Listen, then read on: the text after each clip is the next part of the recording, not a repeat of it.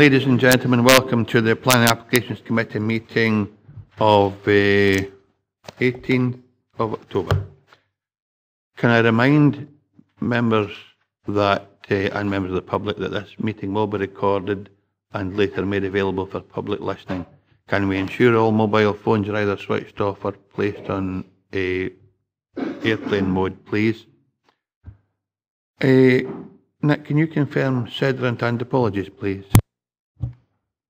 Uh, Thank you, Chair. We've had apologies from um, councillor Carruthers, councillor Fairburn, um, councillor McComb, um, and also apologies for lateness from councillor Doogie Campbell. Um, We have 16 members present at the start of the meeting. Thanks, Nick. Declarations of interest, members. John Martin. Item seven, one of my relatives is an objector, so I'll be leaving the meeting. Thank you. Any other declarations, David? Uh, Yes. Um, Item eight, I own land um, beside item eight, so I don't think I'm a suitable person to take part in the committee's deliberations on that. And I've also reflected um, on the wind farm situation, and um, I've come to the conclusion that um, under current legislation, the uh, cost and benefits don't stack up for the interest of Dumfries and Galloway. So in answering uh, Councillor McKee's question, I think uh, enough is enough. So I'm no longer a suitable person to deliberate on future wind farms in Dumfries and Galloway. I take it that's your view and, and no anyone else's. That's that's my personal view. Yes, that's why I'm personally not suitable um, as a member of your committee, and I wouldn't like to embarrass the committee by making a statement somewhere which would be in conflict with the neutrality of your committee. Thank you, David. Any other members? Okay, thank you for that. We have the minute of the last meeting. Is that a, a, an accurate record? Thank you. Okay. Nick, can you just uh, go through the process for today, please, or the procedure for today? Uh, Thanks, Chair. The Planning Applications Committee will consider each application in turn as detailed on the agenda. The case officer or other appointed officer will make a short presentation addressing the determining issues accompanied by digital images. Any late information, amendments or corrections will be reported at this time. Members may ask questions of officers following the presentation on points of clarification. The Chair has been provided with a list of eligible representatives who have registered to speak at this meeting within the period specified in Council policy. No other persons will be allowed to speak. The Chair will individually invite those who have registered in advance to speak to make their presentation, after which they may be questioned by committee members. No questions may be asked of members. The order of eligible parties being heard will be as follows. Third parties objecting to an application, third parties supporting an application, statutory consultees objecting to an application, elected members of Dumfries and Galloway Council who are not members of the Planning Applications Committee. Such members should withdraw from the committee chamber after making their presentation. Applicants or their agents. Representatives have been placed in alphabetical order and a copy of the public speaking list is available from the committee officer taking notes of our proceedings. Presentations will be strictly limited to three minutes per person, excepting for national and major developments, which by their very nature are more complex, where the time limit will be five minutes. The chair will ask you to come to a conclusion if you take too long. Representatives are encouraged to use the time allotted to clarify any points they consider material and address the determining issues. Certain matters are not normally material planning considerations and will be and will not be taken into account by the council when deciding on a planning application. Representatives should not raise any new matters without explaining why they were not raised earlier with the case officer. Please do not repeat what is in the report as members will have already read the reports. After all the representations have been heard, the meeting is then in formal session and no members of the public may address the committee from the public gallery. The Planning Applications Committee will then proceed to determine the application or, where appropriate, agree a recommendation to be made to full council who will determine the application. Thank you, Nick. We now move on to agenda item four, which is a continuation. Uh, Archie? Thanks, Chair. I'm just presuming that since I wasn't at the last area committee, that I can't be involved in the determination of this application because there was a site visit. The site visit is no uh, relevance because you can determine if this application whether or no, but I was just going to get Nick to read out the names of the members who will be able to determine this application. Can you just do that now, Nick, please? Thanks, Chair. Yes, for clarification, the members who can um, participate and determine this um, application are councillors Dempster, John Campbell, Ian Blake, Doogie Fairburn, Andy Ferguson, Andrew Giusti, Katie Hagmann, Ivor Hislop, Jeff Lever, Jane Maitland, John Martin, Jim McComb, David McKee, Elaine Murray, Ronnie Tait and John Young. Thank you. John Martin? I think I missed that because I had to go to, I had an uh, uh, appointment at the hospital. Did you? Okay, well, it'll be your decision whether or not you participate in the decision making, so you're not going to. No. You can delete John Martin from that list, please.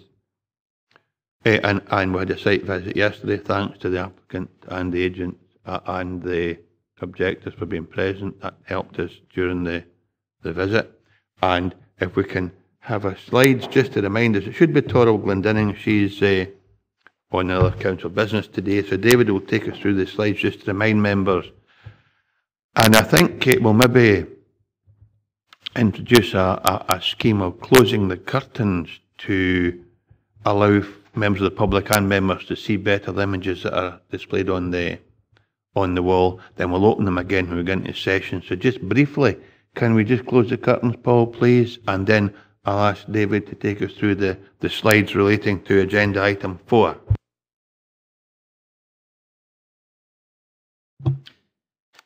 Thank you, Chair. Yes, this is uh, subject to the, the visit that took place yesterday, so it's just a, a refresher of the slides.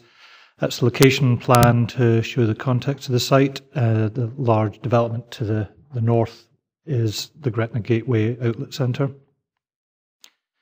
So the application site itself comprises the petrol filling station, the workshop for the garage MOT centre, and also a dwelling house, which is uh, pretty much in the centre of that slide here, with the back garden there at the moment. And this is the proposed block plan, so the car parking would then become formalised around here, including into the, the rear garden, and what is presently the dwelling house would become the cafe. There's a couple of minor other parts of the development under the, the canopy here. There would be a 24 hour payment uh, module, and then here, where there's presently a porta cabin, that would become a car wash, which we understand would be actually be a hand car wash rather than a rollover type. That's the existing dwelling house at the moment. And then this is the proposed layout. As was discussed on site yesterday, the, the main entrance, the public entrance, would be to the front uh, from the, the main forecourt with the parking coming down here. There would, however, be an area here where it could be possible for people to come in the, the back as well. The intention of the operator is for these six new spaces to the rear really to be used by staff members rather than the public. And you can see the logic to that. People will be more inclined to park along here where they can see the clear entrance. And that would be a, less obvious entrance to the rear. And the proposed elevations, fairly minor changes to the, the property itself. Probably the most obvious bit is on the gable end. There'll be a window installed here. This is the payment column, which would be under the, the main petrol filling station. And then just the, the slides to show the same. So it's looking down into the site with the, the house in the centre and the MOT station immediately adjoining it. And the, the access would be round to the rear here, to the garden. View from the outlet centre. View up towards the roundabout view down from the roundabout down Glasgow Road, and that's the main entrance. Members might note there were comments uh, from roads officers about the tactile surfacing, and I can appreciate the comments they're making. Where if that was put in here, there's no obvious part where anybody who's visually impaired would follow a logic, logical uh, route. So I think we do need to have some details of that, and that's covered by condition. At the moment, the, the current car parking arrangement is the, the vehicle recovery cars park right along here, uh, right with the, the boundary to the rear. And the applicant's uh, representative yesterday was saying that their intention is to try and find a, another location for those so they wouldn't be on site any longer. Our photo. That's the existing filling station and car wash. Looking towards the, the porta cabin here, which would be removed, and the, the new car wash would be installed there.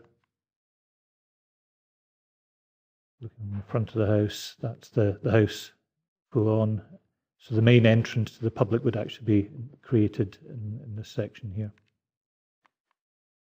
Just looking around to the, the rear garden is number 15, where the representatives were present yesterday. So obviously at the moment they, their rear garden just abuts to another rear garden, but there's a, a solid timber wall fence sorry, of uh, about 1.8 metres. And that's existing rear garden which would be formed into car parking spaces. There would be a, a bin store located in here with a, a new fence running along there. And then this is looking at uh, Sarkfoot Road where the existing porta cabin would be removed and a new car wash would be installed at that location. So there's a, a reasonable separation distance that you can see between here and the next nearest property. Thank you, Chair. Thank you, David. Paul, can you open the curtains again, please? Okay, members, we're in session. John Young? Yes, th- thank you, Chair. I found the site visit very useful yesterday, and I know it says on page 13 that the recovery vehicles that are present located at the back of this um, garage area will be relocated. Is it possible to make that a condition so that they are, are, are definitely located away from this site? David? Whilst I would like to say yes, I don't think we could actually enforce it. It's obviously an existing authorised use at the moment. We clearly heard from the the applicant, applicant's uh, representative yesterday that they were wanting to do that, but it's not something I think we could competently attach as a planning condition. I'm afraid. Okay, John, uh, okay, F, uh, Ian, Ian Blake? Thank you, Chairman. Uh, I too had kind of several concerns about that. I was there about 30 minutes early yesterday and saw how busy, it was really surprisingly busy how site that is. A lot of cars are there permanently parked and the breakdown vehicles. And with the introduction of a cafe, you would assume that that would even give further traffic into it. So I have some concerns about that. I, I could see if, if the breakdown vehicles are relocated, uh, and there are quite a number of them, it would certainly free up a good bit of parking. Uh, but I appreciate what David says about that can't be a condition. My other concern was the the position of the or the proposed position of the second car wash. Uh, I appreciate it's a hand wash, but it is a generator that runs when that when that is on. And that being a new car wash, I'd like to ask David's opinion if a condition could be put on that with the hours of operation for that, because it's although you said it, a, a fair separation distance from the the houses opposite. I don't personally agree with that. I think it's fairly close for uh, that type of car wash. Thanks for that, Ian. Can we place a condition on the hours that can be applied for the new, or- can be introduced for the new car, hand wash, car, car wash, Dave, please? In a word, yes, I think you could. Um, 4.7 in the report sets out the issues about noise, and it does refer to the fact that environmental health have legislative powers to require business to address these matters. So that's probably the, the proper authority to deal with that if there was found to be an accept, unacceptable noise level. But in terms of hours of operation, that's a slightly different matter. Um, Yes, I think that would be quite competent for you to touch that. Um, obviously, uh, be guided by members as to what reasonable hours would be, but the petrol filling station itself um, operates 24 hours a day, so it's whether or not it's it's reasonable to require the, the car wash to to be restricted unduly. I would suggest if you've got the the hours of the cafe being proposed as 7 a.m. to 7 p.m., that probably is a, a ready reckoner for it as well. Okay. Uh, there are, John Young? Uh, thank you for taking me back in, Chair, and I think I probably know what the answer is, but I'll, I'll try anyway. The, the six rear newly created parking spaces, is it possible to have them labelled staff parking and that will minimise the movement of vehicles during the day? David? I think that would actually help. Um, I don't think it's unreasonable to require that simply because the the spaces are going to be for general use, but if we could ask for them to, to be marked as uh, preference, preferably for um, for staff, I agree that would prevent the coming and going all day. Um, so I'm sure we could come up with a, some wording that would would just require it to be for for staff only. Thanks, John. Andy? Um, thanks very much, Chair. Uh, living right next door to another hand car wash, I totally agree about the restriction on hours if that's the route we're to go down. Um, eight o'clock on a Monday to Friday is fine because it's an alarm clock. Saturday and Sunday, I would suggest it's uh, it's um, antisocial because the difference between the 24-hour petrol station coming in and using their card and everything else, and the the noise from the car wash is like night and day. Uh, and I'd be supportive of putting um, quite a stringent time thing on the at the weekend, particularly. Uh, It would appear that members are inclined to agree the recommendation with one or two amendments or, or conditions being attached. And you'll remember David saying we can't be too draconian in the conditions. And I think the other thing is with conditions, we have to be able to enforce them, eh, or, or it's not reasonable. But can you maybe help members, David, with, and if it seems we're willing to agree this a, a request with the two additional recommendations, David, or, or conditions, can you help members with what they might sound like, please? Thank you, Chair. Yes, uh, I think in respect of the car parking spaces, you would be saying that the, the six new car parking spaces to the, the rear of the, the cafe, to the south side of the cafe, um, should be for use of staff only uh, and shall be signed accordingly. For the hours of operation, um, again, it would be along the lines that the the new car wash hereby granted planning permission shall not operate out with the hours of. Um, so again, I'll go back to Councillor Ferguson to see what you were suggesting. Was it eight till six or something like that? Uh, dur- weekdays, on, on and, weekdays. Then, and, and then maybe 10 till 4 or something at the weekends because the noise is really quite bad. Uh, hindsight's wonderful, right, isn't it? You know, but because if, if, we don't do it now, um, I would suggest uh, we we're just um, put, you know, building up a case that, that the noise here is terrible and got to be complaints all over the place. So um, I think that's where I would be wanting to go. Someone, someone down those lines, um, quite restricted at the, at the weekend. I wouldn't want it to become a bidding war about somebody wants five, one wants half past five, but I think we have to be reasonable in as much as it, it, it's a, an opportunity to enhance the business opportunities for the company, and it's also availability of folk at weekends being able to go and wash their cars. We have to be reasonable with it. David McKee. I think I think the big the biggest issue would be the noise generated by the car wash.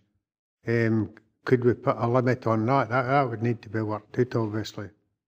I don't, I don't know how noisy they are, but that might that might be a way of restricting it. But Ken, five, four or five o'clock in the, in the day is kind of early for stopping that because a lot of people work during the day. That's the weekends.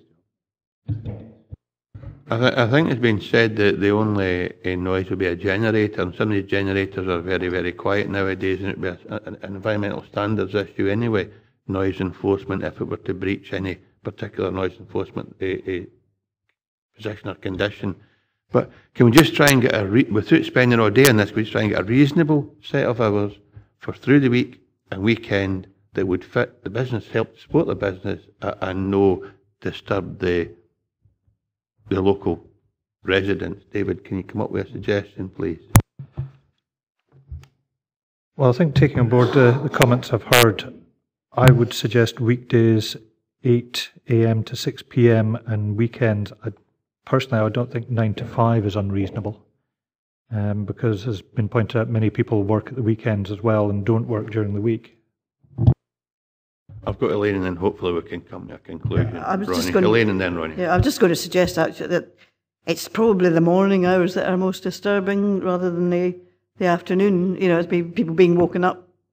Uh, so I was just going to suggest that I'd say make it 10 till 6 or something so you give people a bit of time on the Sunday to, you know, if they are working to be able to go and wash their car. But I don't think many people will be going to bed at 6 o'clock on a Sunday night, really. So uh, that, that, that was just my suggestion. Okay, Elaine, Ronnie.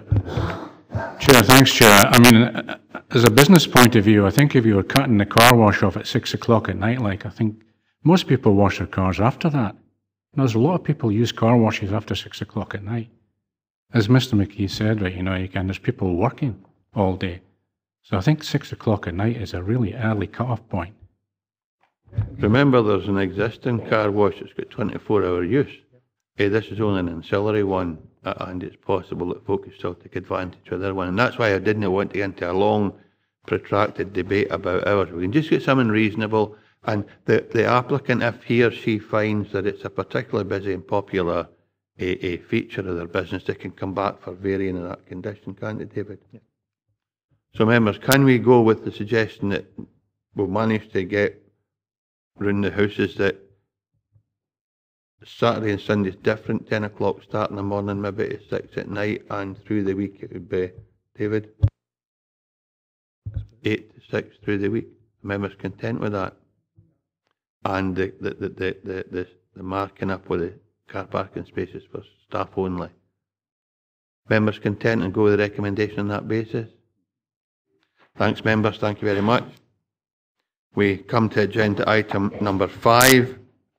It's a, a, a planning and principle application for erection of eight holiday lodges and associated infrastructure at Auchendoon House, Conifers Leisure Park, Kirroughtree, Minnigaff, Newton Stewart. As a planning application principle, the reference number is 18 stroke 1082 stroke PIP. The recommendation is to approve subject conditions and the case officer is Mary Mitchell. Mary, when you're ready, oh, just give a minute to shut the curtain, please, and then take us through your presentation. Pete, Paul, can you shut the curtain, please?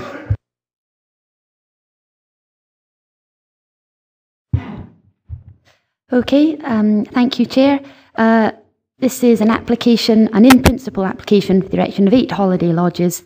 The layout of the site and the design of the lodges will be subject to a further planning application. Um, the proposal forms an extension to the existing holiday park at Conifers Leisure Park. Uh, this application has been brought to committee as seven separate and timeous third-party objections have been received. The objections are from uh, neighbouring dwelling houses um, and they raise amenity concerns in the main um, issues about uh, increased noise and increased traffic. We'll look at the slides. So uh, Conifers is, is located just to the north of uh, the Newton Stewart settlement boundary.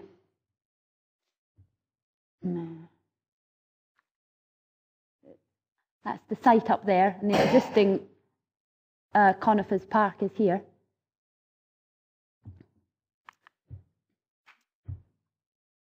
So close up. Again, the site is here, and existing Conifers uh, chalets are here. Um, this is a hotel. Um, they were one of the objectors, um, and these are dwelling houses up here. Um, that's a block of flats. So, and there's a house down there as well. That one's Galloway Lodge, which is probably the closest house to the uh, development. So, um, on site at the moment, there's uh, uh, an equestrian centre which hasn't been used for quite a while. Um, the proposal is to remove the equestrian centre. That's this building here. There's also a house here which is owned and occupied by the manager of Conifers Leisure Park. This is uh, an indicative layout. Um, so the existing driveway would be used down here, um, uh, and uh, four lodges this side, four lodges that side, a pond in the middle, and the house would be retained there. Um, all the way around the site, there is um, a high brick wall. It's about four metres in height, um, and it would be retained as part of the development. These are layouts of the, the lodges. There are to be two lodges with two bedrooms, like this one. And six lodges with just a single bedroom, like this.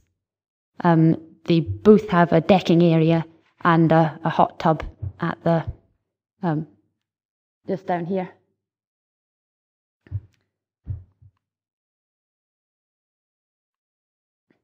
Uh, so this is um, looking up the driveway towards the site. This is part of the high brick wall. You can see the, uh, the old equestrian centre to the left, and to the right was the dwelling house I pointed out, um, Galloway Lodge. That's the roof of Galloway Lodge. This was one of the objectives.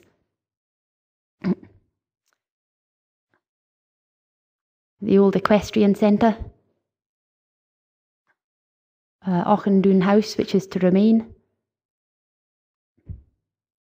Part of the paddock area on the site. Auchendoon House uh, looking east. Oops. More paddock. Paddock. Um, this is the uh, the west elevation of the equestrian centre, and just to the right of that photo is Auchendoon House.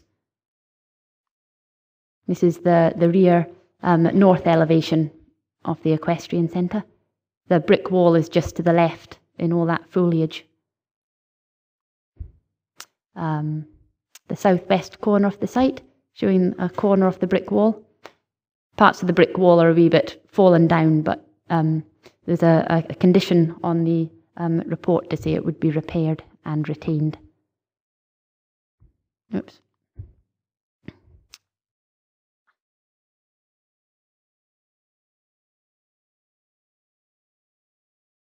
This is the uh, the east boundary wall.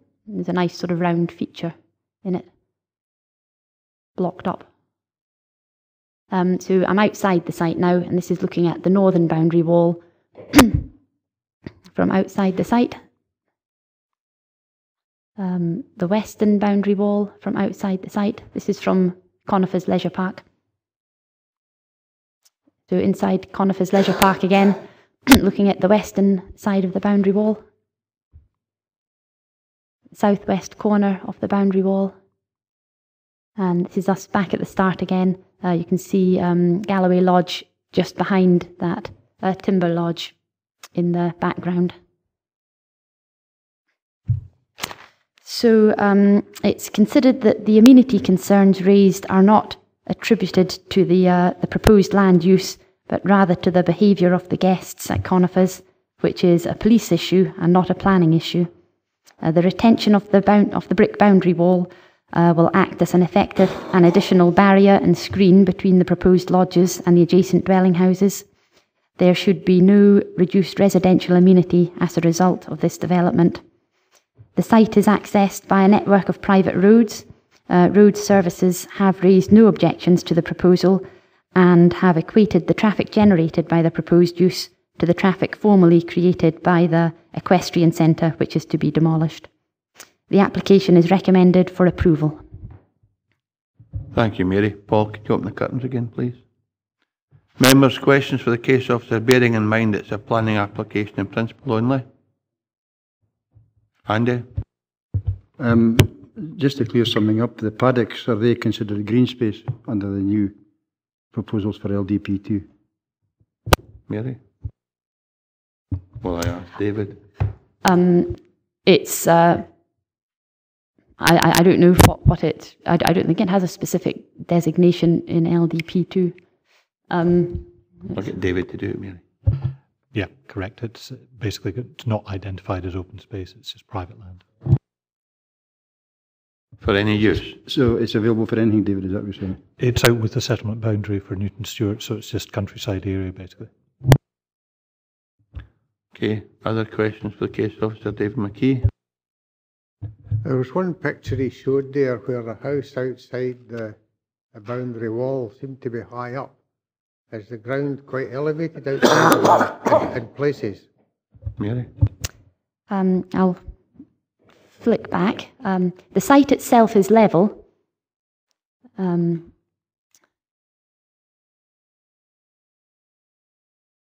was, was was it that one? No. Yeah, um, no, it's it's pretty. Um, the immediately adjacent to the site, it's all it's all about the same level. The um, looking at this one, the site, the land does fall. It does fall down this way, but the the slope is all round this area really. This part here is all pretty much of the same same level. It rises a bit more over here. But the site itself and immediately adjacent to the site is pretty much the same height. It's maybe just the design of the house that makes it look uh, higher in the wall, but that's fine, May- thanks. Maybe. Thanks, Mary. Uh, if there are no other questions for the case officer, we have Ms. Laura Hepburn, who is the applicant. Laura, if you'd like to just come forward, please, and, and take a seat. You will have uh, three minutes to make a presentation to committee members. I'd be grateful if you'd remain in your seat in case there are questions for you. And I will remind you with 30 seconds to go, just to draw your presentation to a conclusion. And just whenever you're ready, Laura. Okay, thank you. Um, thank you for get, giving me the opportunity just to kind of add or clarify a couple of points, which I think, um, you know, regarding our um, application for eight lodges.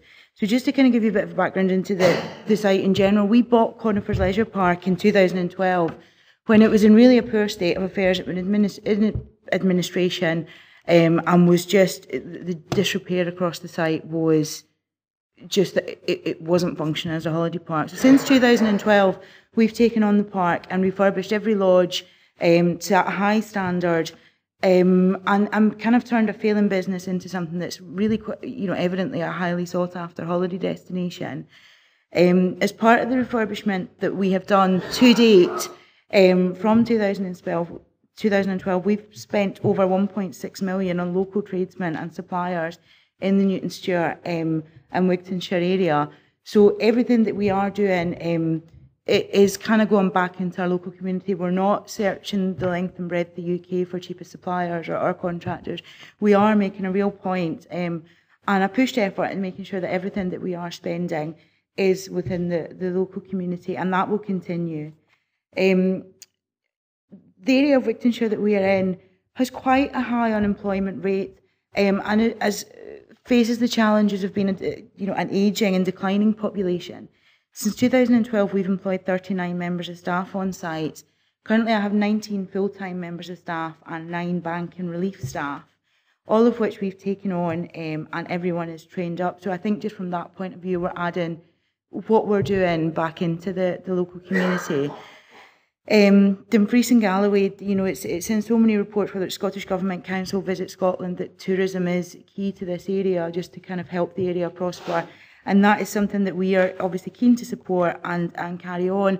The guests that come and stay with us, come and stay, yes, and obviously that's that's great for us, but they also visit attractions and, and tourist spots in the local community across the whole region. So it's not just restricted to us having um, that volume of people here for us. We encourage, you know, the, the them to out and explore the area, which again, by adding the eight additional lodges on, it gives us further further people within us, um, within our remit to kind of push out. So we purchased Auchendoon in January of 2008 this year, um, with always You being 30 seconds to go, Laura. always been the intention of repairing the brick wall um, and you know maintaining that site, taking down an almost derelict building which will in time need significant repairs. Um, and lastly, we fully take on board the objections that have come in, but feel that the response that I've provided in, in Mary's report has kind of covered what are not planning issues in our civil matters. Thank you. Bang on, Laura. Thank you very much. Members, do we- any questions for the applicant, Jane Maitland? Um, hello. There is a condition um, in the um, recommendation which, if we were to approve, would be probably part and parcel of the decision. Um, how do you um, enforce the condition that it will only be used as a temporary and holiday basis? How, how do you do that? We we just do not take any bookings. We have a maximum. Guests cannot book anything longer than 14 days. Um, without you know, without contacting us. They could go on our website, they could book. Um, but we just have a very strict policy. The, the previous owners of the park had, in fact, used things like insurance, where someone was perhaps getting insurance around their house, and they found that it didn't work. Guests were very hard to move on. So we've always had a strict policy on all of our properties. We have other sites across Scotland, and it's just our down and out principle that we take holiday makers, and that is the sole purpose. Nothing else will ever be considered. Thank you, Jane. Any other questions for the applicant, Archie? Can you just clarify um, the amount of staff? Did you say 19 full-time and 9 reliefs? Yes.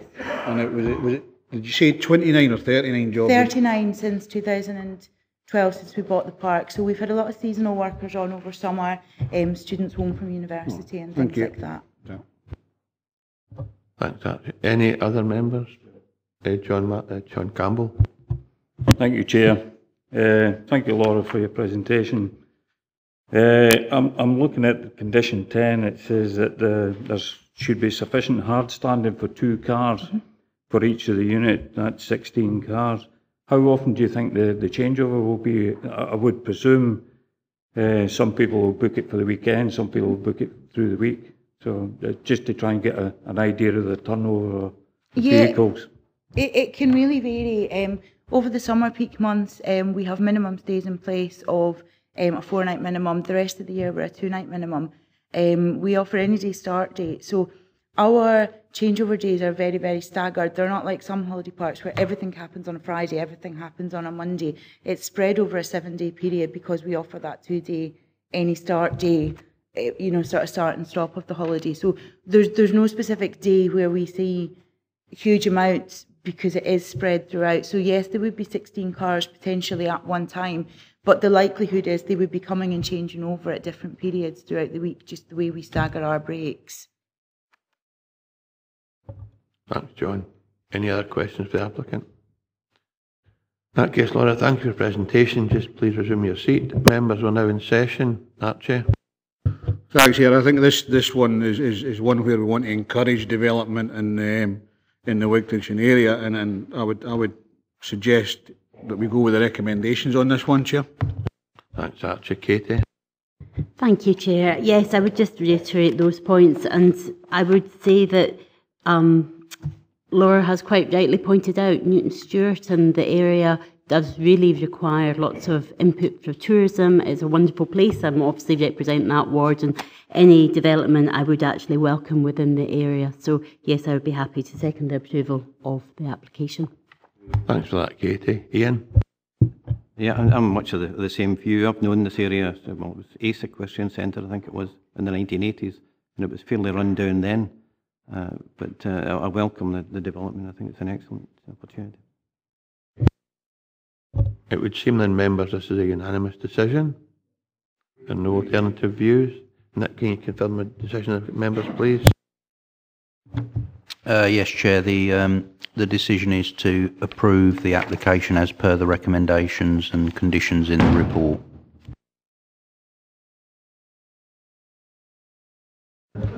Must be Dougie coming in.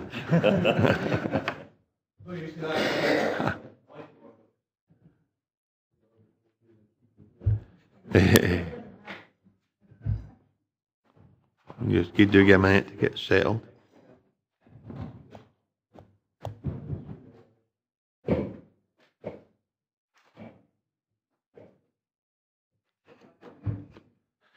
Members, we come to agenda item number six, planning application for the erection of three dwelling houses at Old Tennis Court, Ballplay Road, Moffat. Again, this is a planning permission in principle application. Application number is reference 18 stroke 0932 stroke PIP. The recommendation is to approve subject to the successful completion of legal agreement in respect of an educational contribution within six months of the date of the decision or any extended timescale as agreed by the appointed officer and B, conditions and the case officer is Claire Eckstein. Again, Paul, will you shut the curtains, please? And Claire, when you're ready, just take us through your presentation.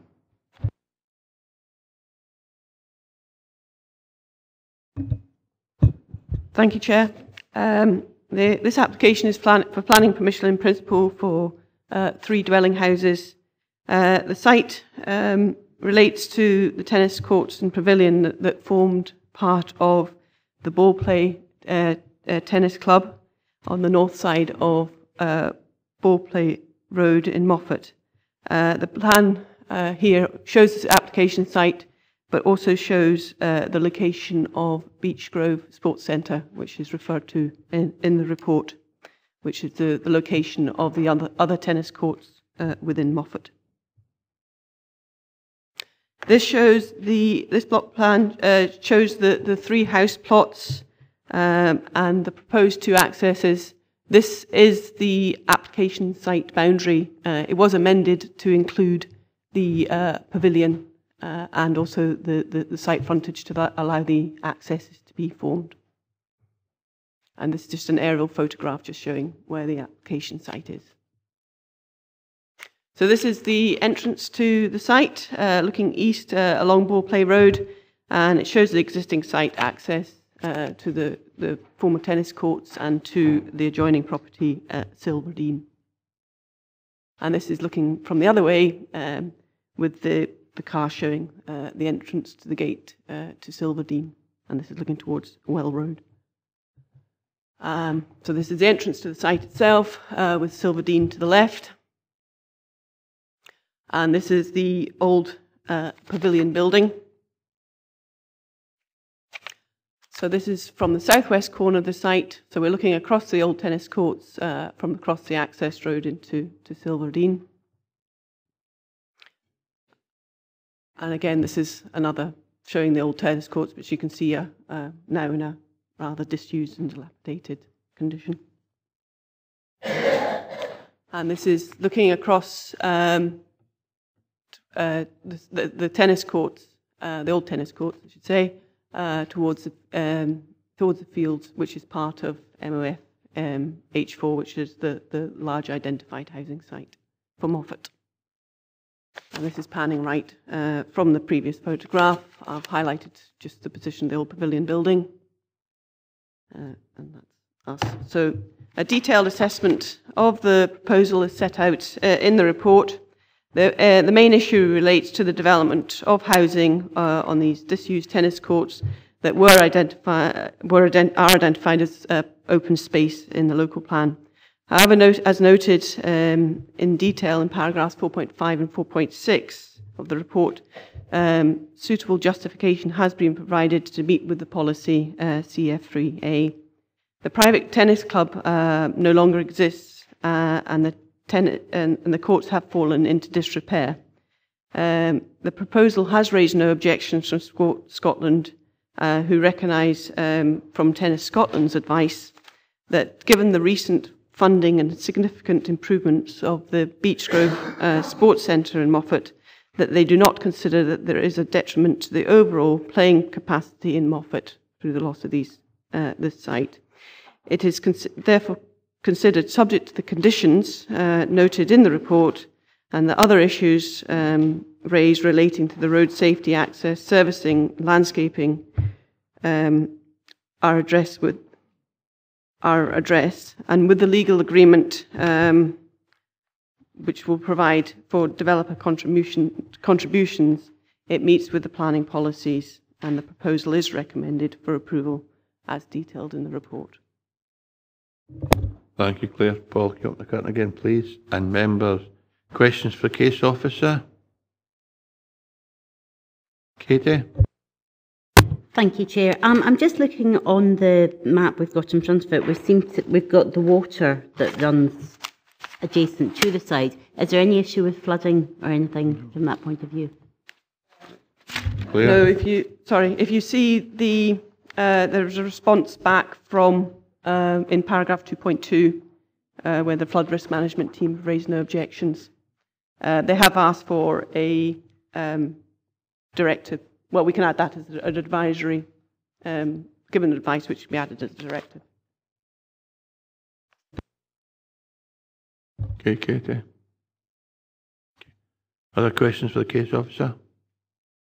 None? Okay. We have a registered speaker. We have uh, Melvin Stewart on behalf of the applicant. Melvin, if you'd like to come forward, please. Again, Melvin, you'll have three minutes. I'll remind you with 30 seconds to go just to draw your presentation to a conclusion. And if you kindly wait in case members have questions for you. A- And just whenever you're ready, sir. Thank you.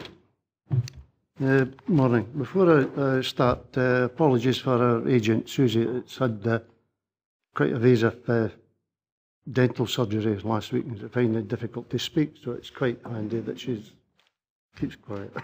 Sorry. No. We fully endorse all the comments made by the planning officer in her report, part four, and find the conditions acceptable in part five. As this is a planning and principle application only, we are happy to work with the planning to ensure the type of uh, housing are in keeping with the neighbourhood properties surrounding in the surrounding area. Popular Lawn Tennis Court Committee made a serious attempt to continue playing tennis on the courts and meeting the terms as outlined in its constitution.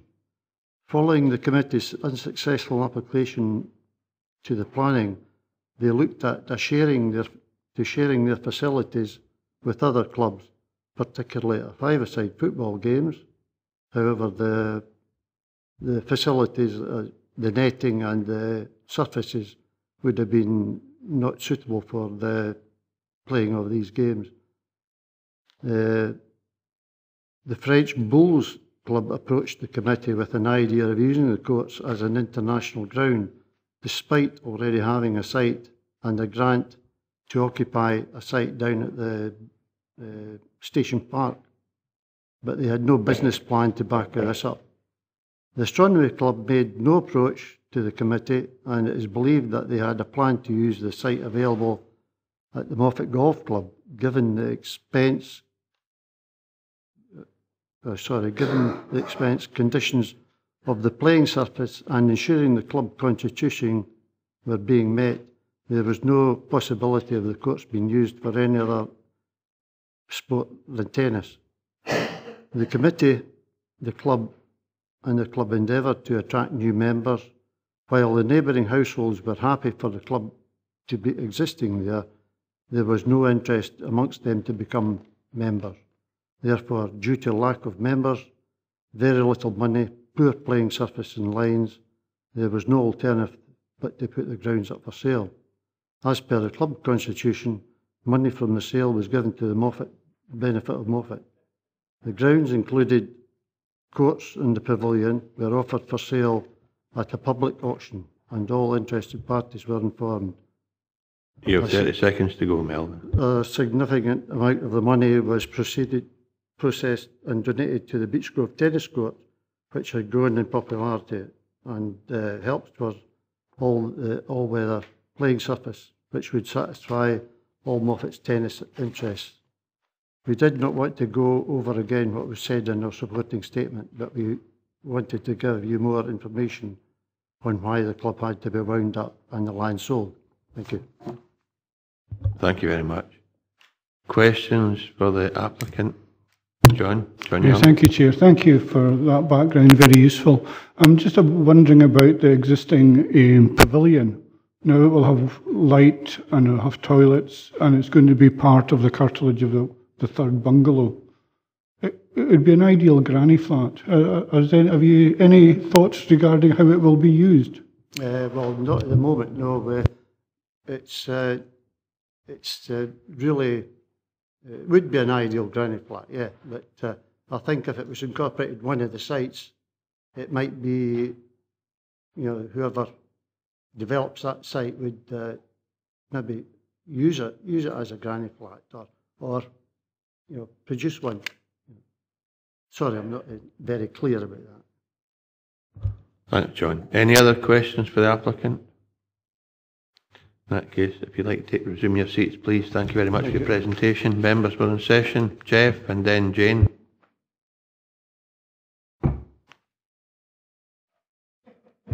Aye, you're not that good looking. It was you I meant, actually. Yeah, you're not that good looking either yourself, man. uh, must be a shank, I think, you talk about um, how people look in planning as opposed to. A, that might be a good one because he looks very good. Yeah, not happening.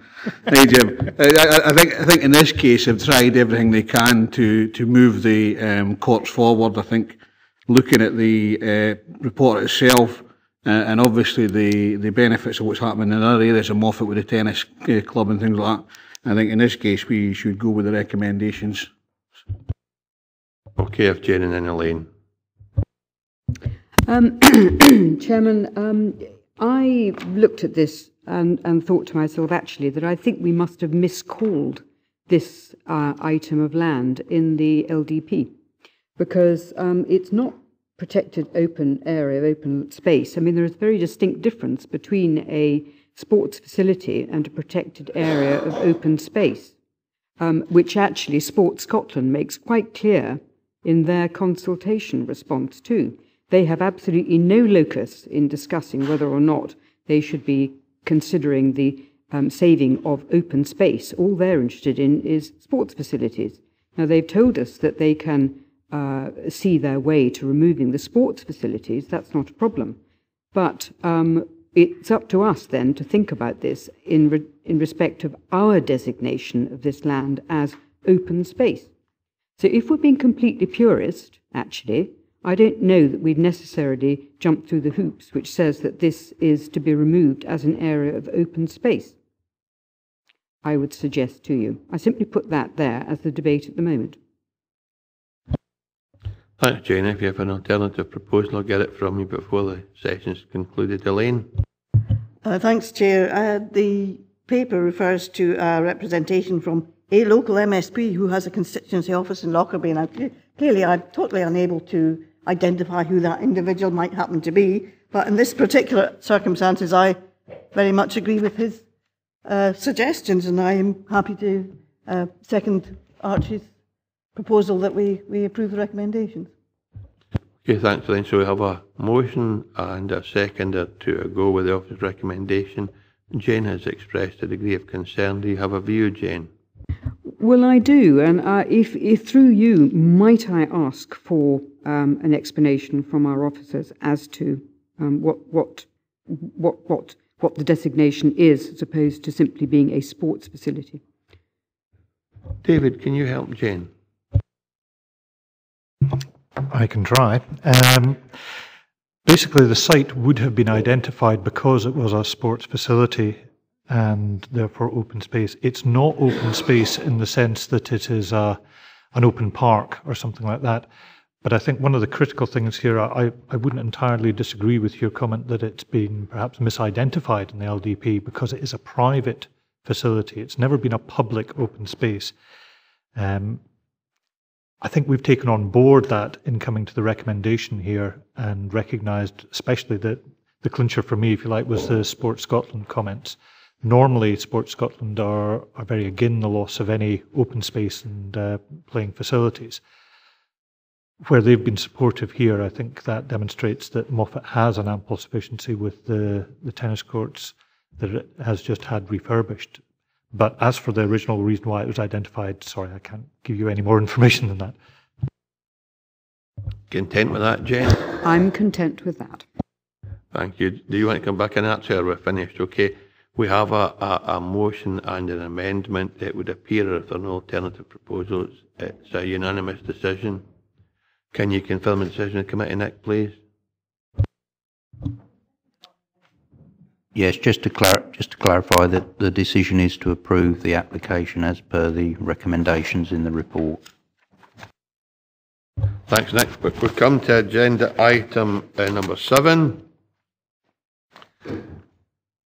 A, an application for the erection of two dwelling houses at Greenacre, Mouswald. The application type again is planning permission in principle. The recommendation is to approve conditionally. The reference number is 18 stroke 0978 stroke PIP and the case officer is Carla McWhinney. Carla, okay, the curtain shut again, Paul, and just take us through your presentation, Carla, please.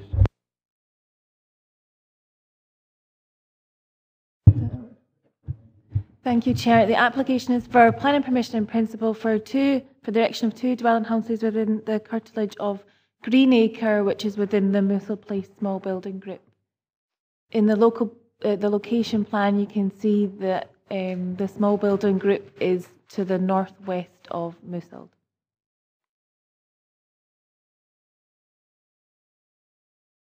Second slide shows the application site Greenacre is highlighted. Um, and you can see the site in comparison to with the rest of the small building group.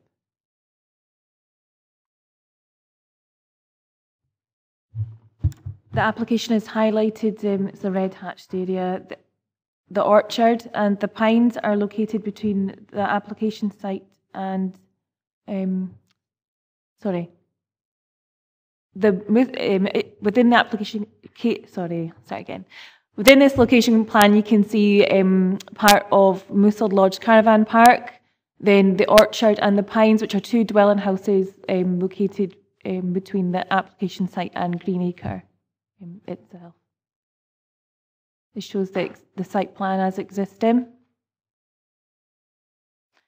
And this is the proposed indicative site plan. The proposed indicative site plan um, shows um, the, a, uh, the, layout of the application site.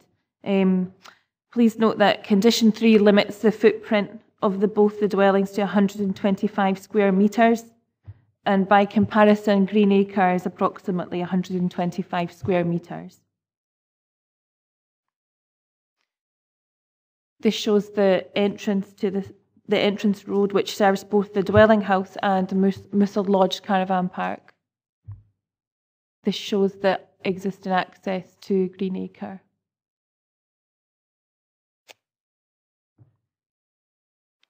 This shows the side elevation of Greenacre and looks across the application site um, and you can see the dwelling house, the orchard, um, beyond the application site. And we continue on. This looks across the application site and you can clearly see the side, um, the rear elevation of um, the orchard. Panning right, you can see the orchard and you can see the application site is currently quite overgrown and uneven. This shows the rear elevation of the um, the pines.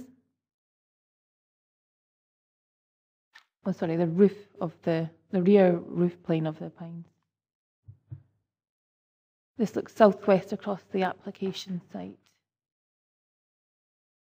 Um, you can see part. Um, you can see um, there's like a, a large um, bush, and you can see a little um, part of the orchard, and again part of the rear elevation of um, the rear roof plane of the pines. This looks northwest towards the point of um, the proposed entrance site, which is to the left of the existing entrance site. Um, this would involve um, partial removal of the wall, the existing boundary wall.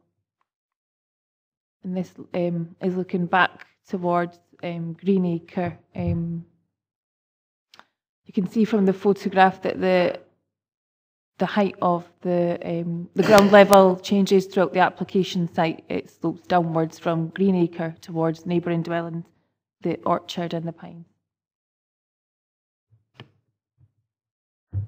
The proposal is not considered to constitute constitute backland development due to the existing pattern of development within the immediate area, um, limiting the footprint and preventing attic accommodation by condition is considered to mitigate the potential negative impact of the, um, the two dwelling houses on both the orchard, the pines, and um, Greenacre itself. Thank you. Thank you, Carla. Paul, can you open the curtain again, please? Members, questions for case officer? John Young. Thank you for that presentation. Could you confirm that the proposed access road to these two potential new dwelling houses is the same access as that used by the caravan site? Yes. Thanks, Carla. Any other questions? There are no registered speakers. Members, therefore, in session. Archie? Thanks very much, Chair. I mean, we've, we've seen this area before come come forward to um, Planning Applications Committee, and although I don't have a lot of concern about this this application, it is planning permission in principle. Uh, I do have some concern about the uh, off-run of some of the, the, the land, water and things like that, although there are there are issues within the, within the, the report that the flood the roads officer are, are, are, are, have said that they have no, no issue with. However, we have in the past, in planning permission, asked that the full application comes back to Planning Applications Committee.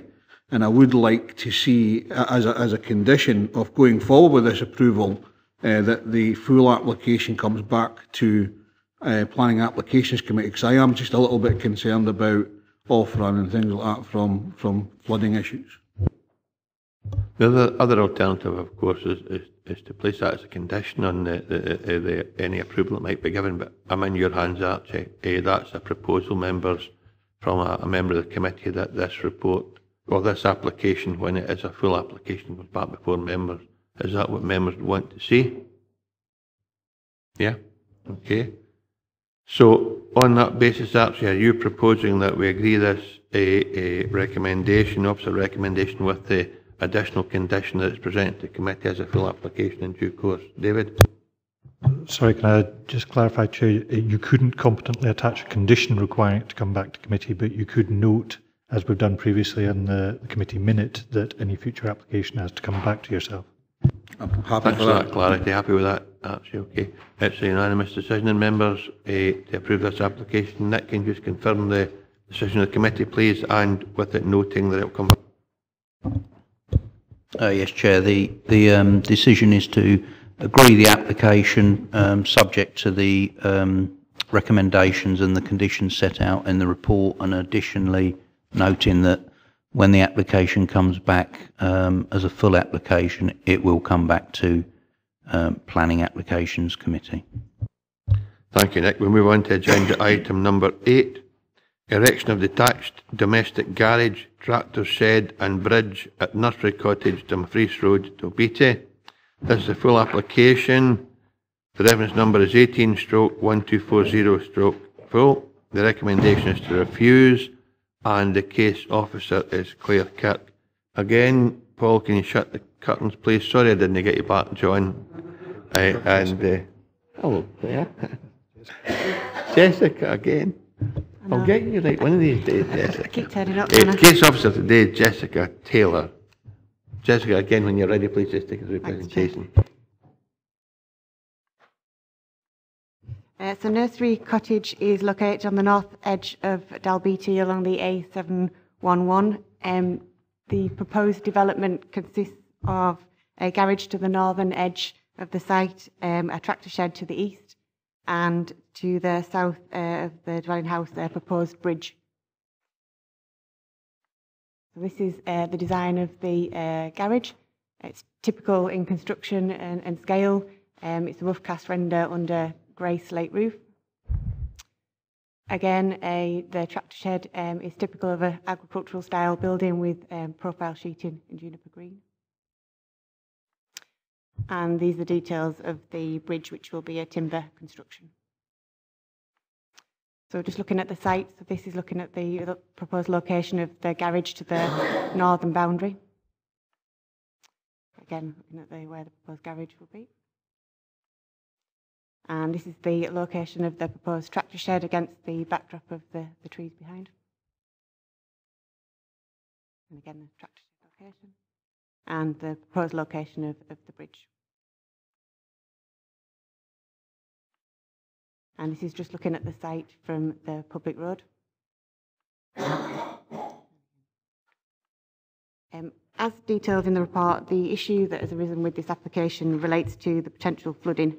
In 2014, a plan application was granted for the removal of two railway embankments, um, which one was to the right of the dwelling where the tractor shed uh, is proposed.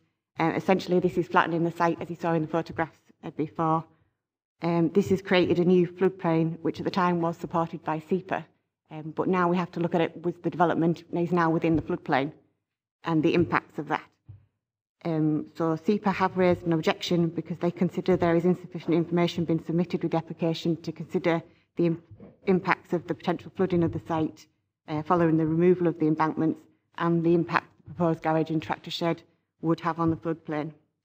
The applicant has been asked for the, the information to be provided, and some has, but SEPA don't consider it sufficient to uh, take away their objection.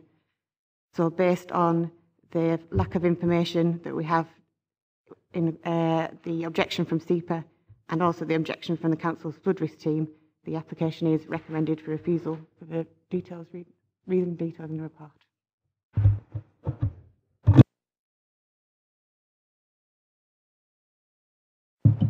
Uh, thank you. Um, on page 64, you, I mean, the, the reason that the uh, application is being called in is because uh, if uh, buildings occupying the same footprint and intended for the same non- non-residential purposes could have been erected under permitted development rights without any requirement for planning consent. On page 64, you state that the location of the proposed domestic garage in relation to the dwelling house means that this element of the proposed development will always require a formal grant of planning permission, even if its height were to be reduced. So even if the height of the development had been reduced, would it have required planning permission and therefore would SEPA have been consulted anyway? Jessica? The site is large, so there is scope to do the tractor shed and the garage within permitted development. But based on the location of the garage, uh, because of where it is, it would need uh, planning permission even if they reduce the height. But there is scope to move it to a different location, and it would be PD. And, and, and would SEPA have been consulted? Uh, no, because it would be permitted development, so they wouldn't need. I mean, if, if the, the garage was on that site and required p- planning permission, would SEPA have been consulted in that case? I'll get David to answer that, Jessica.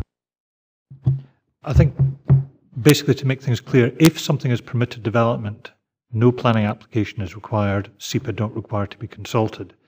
The, the difficulty is that whilst an element of this application could be amended to make it permitted development, namely the garage, the, sorry, the tractor shed, the garage is in a location where if it's in that location, it was always going to require permission. It doesn't matter whether you reduce the height of it. So it's the locational element, which Indeed, means it, it does require permission, which means SEPA are consulted. Thanks, Elaine. Other questions? Archie? Can I just clarify? I could remember the embankment planning application coming forward in 2014 and, and SEPA, you know, consultation responses withdrew their objection to the application to remove the embankment and it would be, be beneficial in terms of reducing level of risk to both Nursery Cottage and John Street.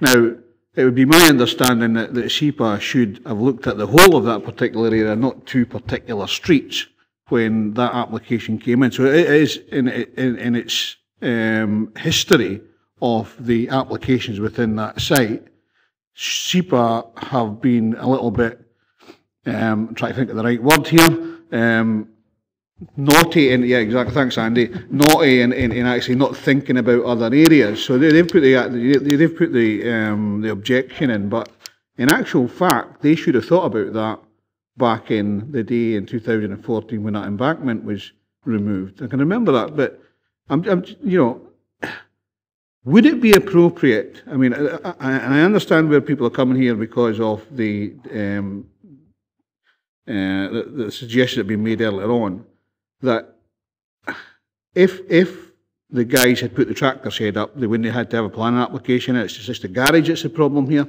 Um, not, SEPA would not have commented on this. And, and, and, and I just can't understand where they were coming from in 2014 looking after two streets rather than the whole area. I take it as just an observation because we're dealing with planning application here and that doesn't include them two streets. And and we're still only at questions for the case officer. Is it a question for the case officer, David McKee? Help yourself. Thank you very much. You're so kind. I notice there's a, lo- a steps sort the outside of that building. Is there accommodation up the stairs or what's the intention for that, please?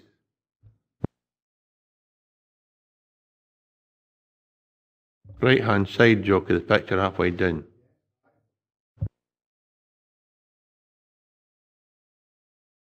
I thought there was another picture where they showed th- those to be outside. Or are they outside or inside?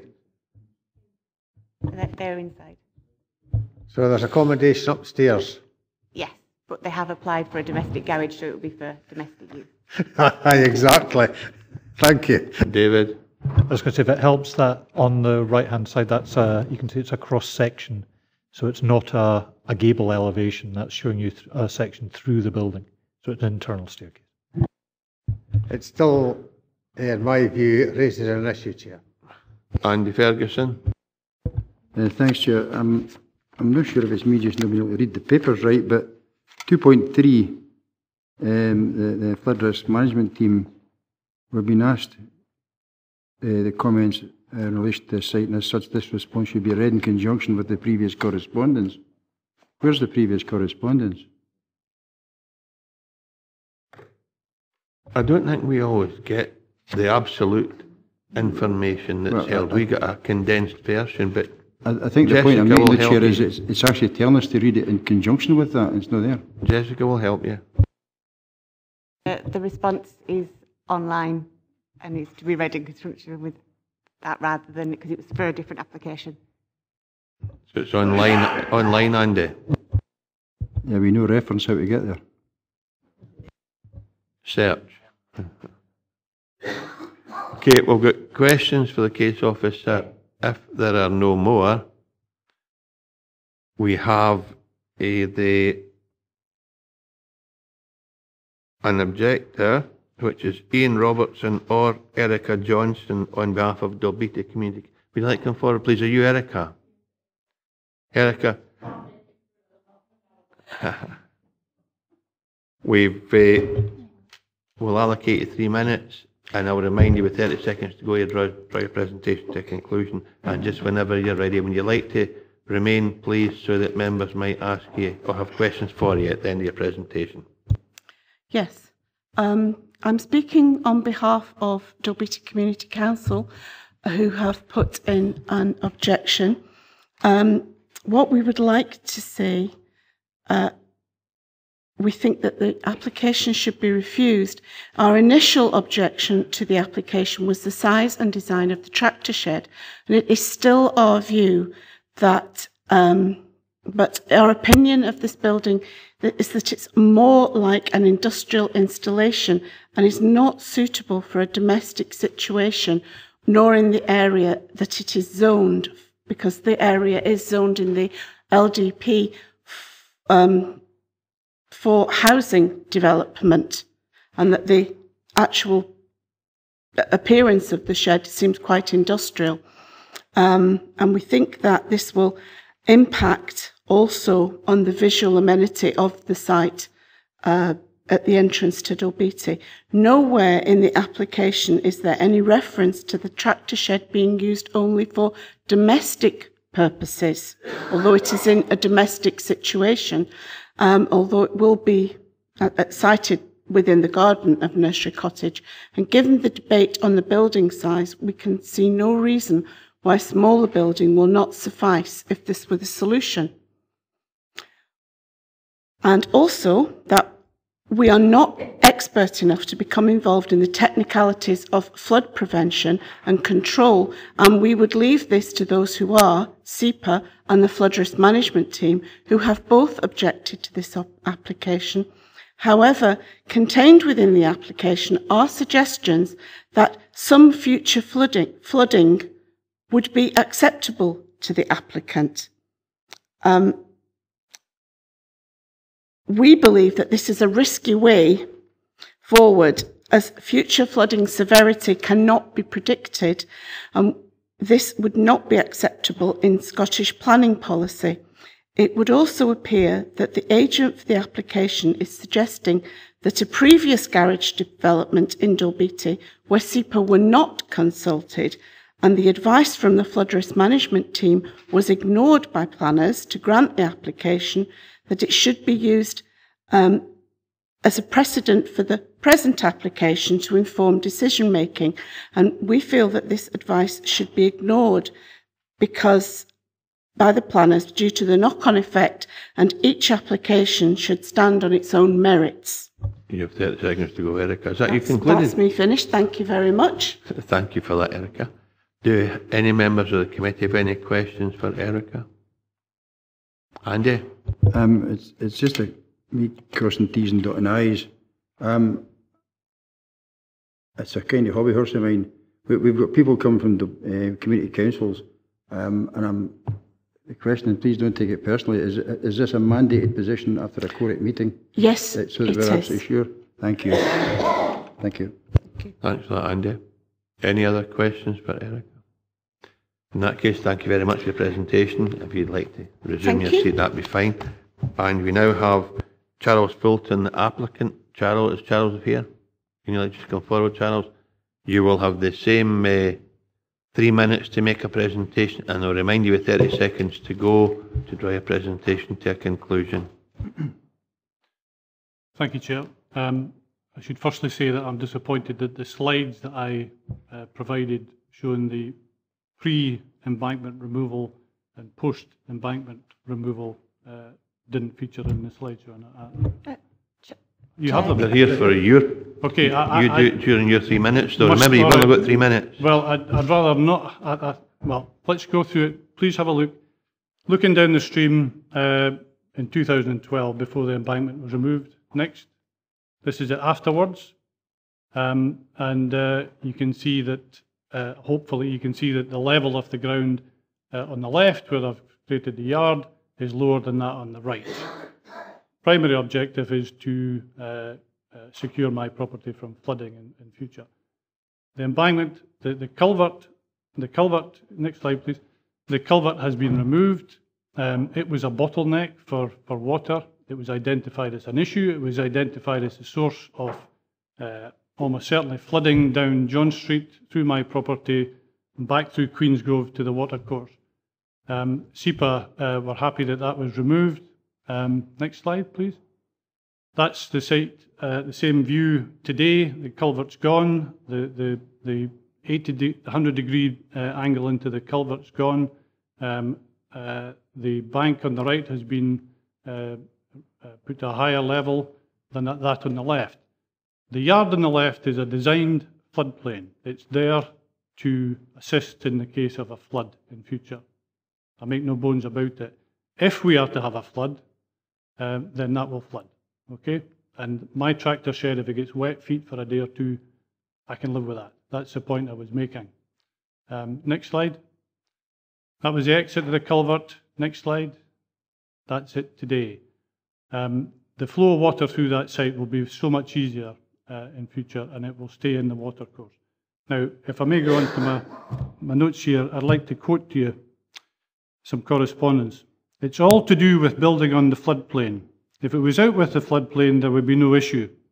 The fact that it is on the floodplain and the flood risk policy states that nothing can be built within specific flood risk zones means it must be objected to.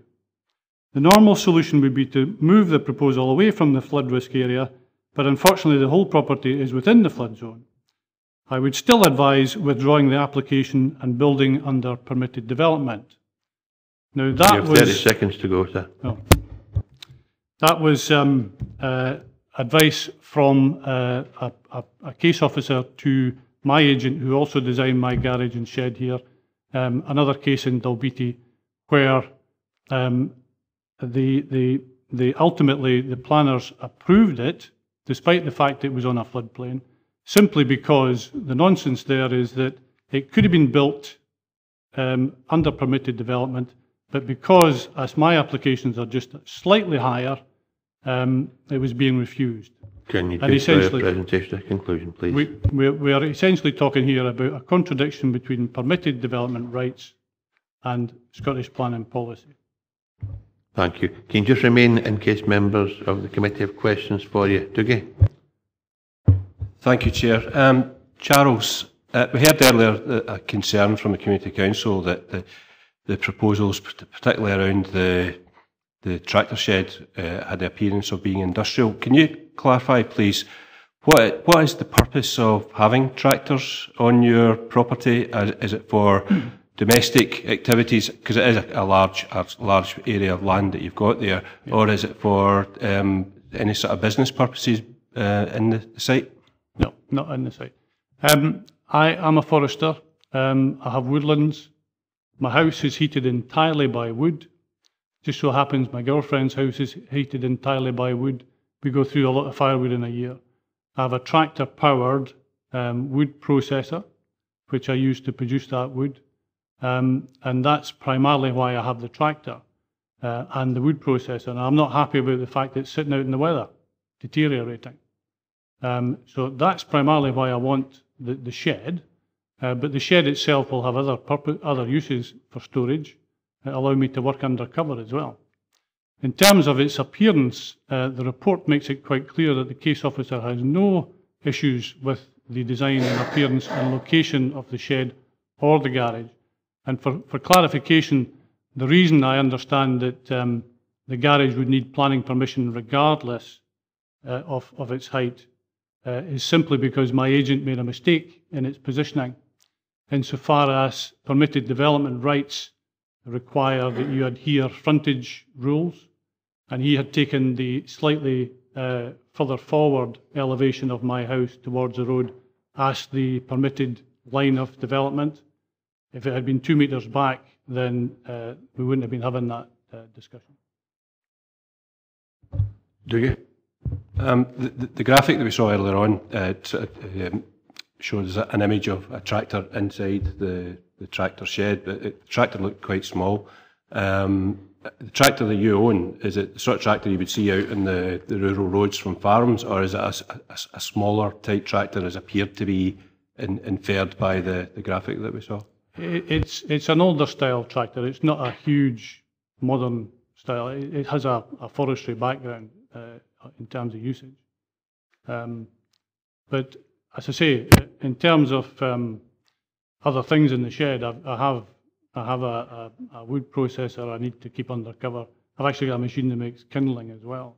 But you know, it, it it's not difficult to. It's a big area. I hope you appreciate, and um, you know, it, it it's it doesn't would not look out of scale uh, or, or out of character indeed with the, the backdrop it has there, and and the case officer concluded that in a report to the committee. Thanks, Dougie. Elaine? Yeah, uh, thanks. Um, the advice that we've had is that if the height of the tractor shed was reduced and the domestic garage relate, uh, uh, located somewhere else within the, the, site, it might have been allowed under permitted development. Would would it be possible, in, in order for you to achieve what you want to achieve, would it be possible for you to to have a, a lower tractor shed, for example, or locate your garage elsewhere, and Well, therefore it- enable it to be a sorry. permitted development? Um, the answer to that is yes. Um, when my agent drew the, the, the garage, I didn't know he was going to put another storage area up, up top, but I thought, well, that's, that's fine. And he'd done it elsewhere, and in fact, he had got it approved elsewhere on a floodplain. Uh, in, in those circumstances, incidentally, it took a, a councillor's intervention with the planning department to make them see that it was a nonsense to reject it uh, as a planning application when it could be developed under permitted development. The same footprint on the same floodplain, just a bit extra height, and that's all I'm asking for. I could have I could have avoided that situation um, by simply sticking to four metres. I wouldn't have had the extra usable storage upstairs. And with regards to the tractor shed, it could be built at four metres, but it would be a monopitch building, monopitch roof building, rather than a twin pitch building, which I think aesthetically would not look anything like as, as good. But would you be able to locate both uh, your um, all the equipment you want it to locate, and would that would that be possible in a smaller tra- tractor shed? It would, the, the roof structure would be, um, you know, less appealing, uh, I would suggest. And, and as far as the extra height in the garage, well, yeah, uh, very useful storage space. Um, same footprint. Thanks, Elaine. Any other questions for the applicant? In that case, sir, if you'd like to resume your seat, thank you very much for your presentation. This item was called in by Councillor Davidson. Is Councillor Davidson here to speak to the address committee or, or is he not? Anyone know? Presume he's not. Which case, we're in session, members. If there are no proposals, do we go with the officer's recommendation? Okay, unanimous decision of the committee, Nick, to support the officer's recommendation. Can you just confirm what that decision is today, please?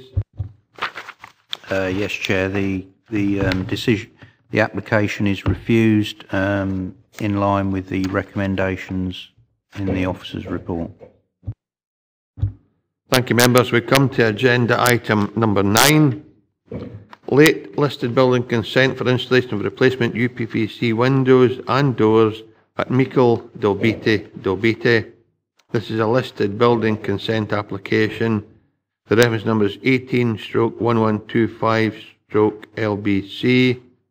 The recommendation is to refuse And the case officer is Jessica again. Jessica, again, can you shut the curtains, Paul, please? And just whenever you're ready, Jessica, thank you. Okay, So um, this site is located on the edge of Dalbeattie. Um, it is a Category C listed building. Um, the application is for late listed building consent. So the windows and doors have already been um, installed, and it's for all the windows and doors in the property. Uh, the the window, just giving you uh, cross sections and details of the windows. So the windows are thick banded casement top opening windows, UPVC. The doors are the same, so they've got solid UPVC um, bottom and, and glazed top. So take you round. So this is the south elevation with the windows installed. Again, the south. There's the east side elevation and part of the north elevation with the windows and the door. And this is the north elevation and the west. And is just giving you a, a close-up view of one of the windows and the styles. So say the thick banding with the top opening casement in UPVC. And this is another example of the smaller window that has been installed. The example, uh, this is the door and the second door. So these photographs in 2006, the council actually took a, undertook a survey of all listed buildings um, and a photographic record, and this is the photographs taken at that time, which show the original timber uh, sash and case windows um, installed. We also have evidence that from sales particulars in 2015 that the windows were still there in 2015. Essentially, there's um, two elements to this assessment. Firstly is the design and mechanism and opening, and secondly is the materials. So the windows that have been installed are modern casement design rather than the original sash and case. Uh, they have thick plastic frames rather than the original slim frames. And so it's considered that the design, proportion and the mechanism are not considered appropriate for listed building and do have a detrimental impact on the character. The use of UPVC in listed buildings is not uh, strictly prohibited in planning policies, but it's considered that the use of modern materials uh, doesn't really respect the character of historic buildings. There is evidence that, as I said, that the original timber windows were in the property until recently, and it's considered the use of standard casement UPVCs is detrimental to the character of the listed building, and the application is recommended for refusal, as detailed in the report. Thank you, Jessica. Can you open the curtain again, Paul, please? Members, we have questions for the case officer. Elaine. Um, I'm right in thinking from the map that this is a, an individual building. It's not part of a conservation area or anything of that nature. It's an individual bu- building on a farm. Yes. Thanks, Elaine. Ian. Could you confirm the, the distance of this house from the main road and how visible it is to the, to the area? Jessica. I actually can't because I haven't been on the site. but I, um, You help David. An indicative, an indicative distance would help.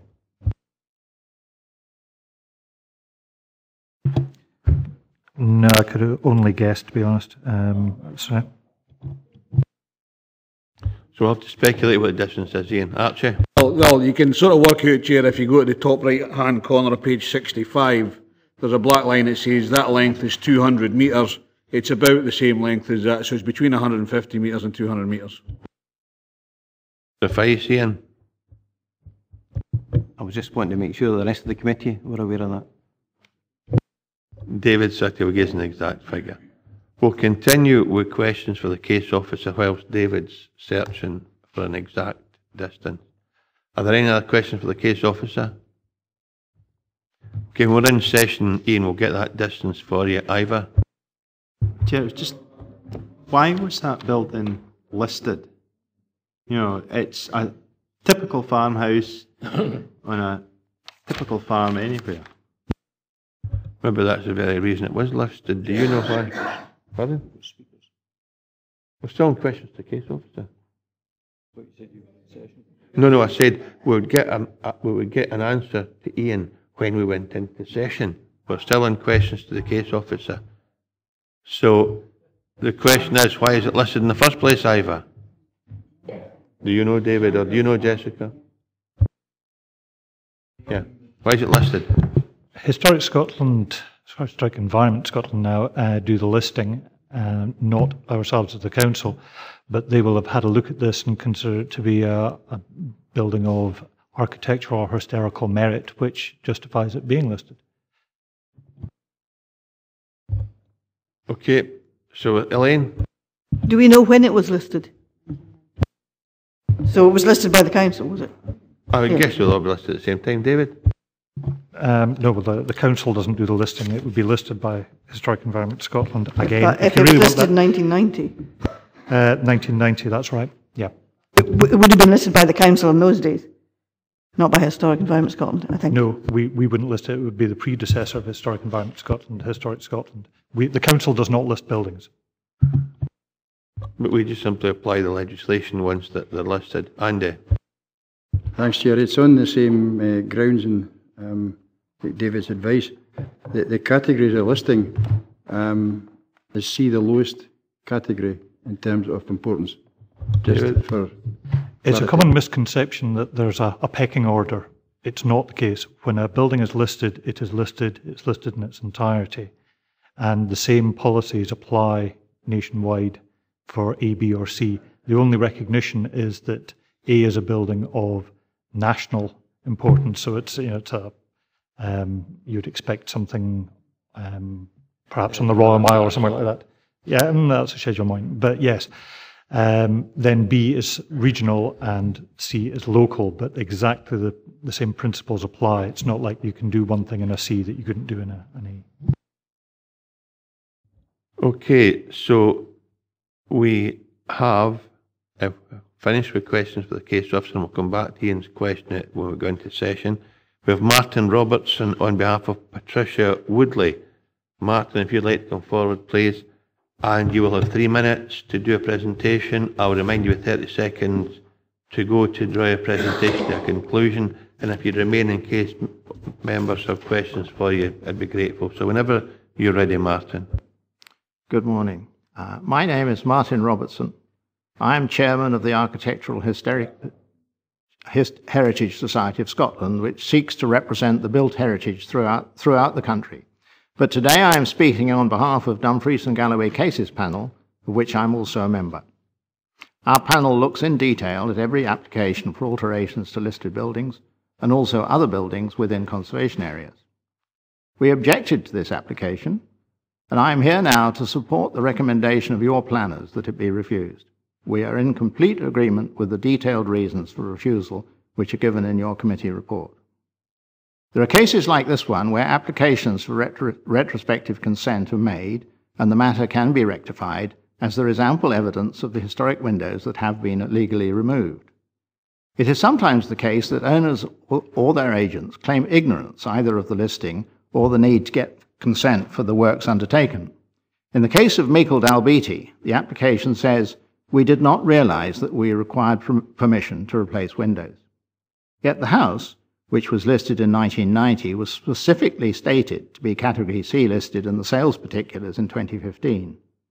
It's simply not good enough to claim ignorance of what listing entails. Dumfries and Galloway has excellent planning and conservation policy, policies and guidance, which have been democratically agreed and are enshrined in the local, de- local Development Plan 2014 and the Supplementary Guidance Historic Built Environment, Environment 2017. These closely mirror national policy and advice from Historic Environment Scotland, and both were contributed to by the AHSS during consultation. This advice gives carefully thought out support for the proper maintenance and upgrading of our, of our historic environment, and the Council has professional staff capable of working with owners in interpreting and enacting the legislation. But even so, it is clear that problems remain. Many heritage buildings in Dumfries and Galloway rely mainly for character on simple, honest use of local materials and building skills. Their appearance and character can, character can very easily be damaged by insensitive alteration, as has been the case with Meikle Dalbeattie. The AHSS has become increasingly concerned at the number of cases of unauthorised and, and inappropriate alterations to listed and other heritage buildings in Dumfries and Galloway, where the provisions of the planning legislation have been flouted. You have 30 seconds to go, sir. Granting retrospective consent in a case such as this will likely encourage others to carry out work without reference to the planning department and to the detriment of our, local, uh, of our regional heritage. Thank you. Thank you. Any questions for Mr Robertson? Andy?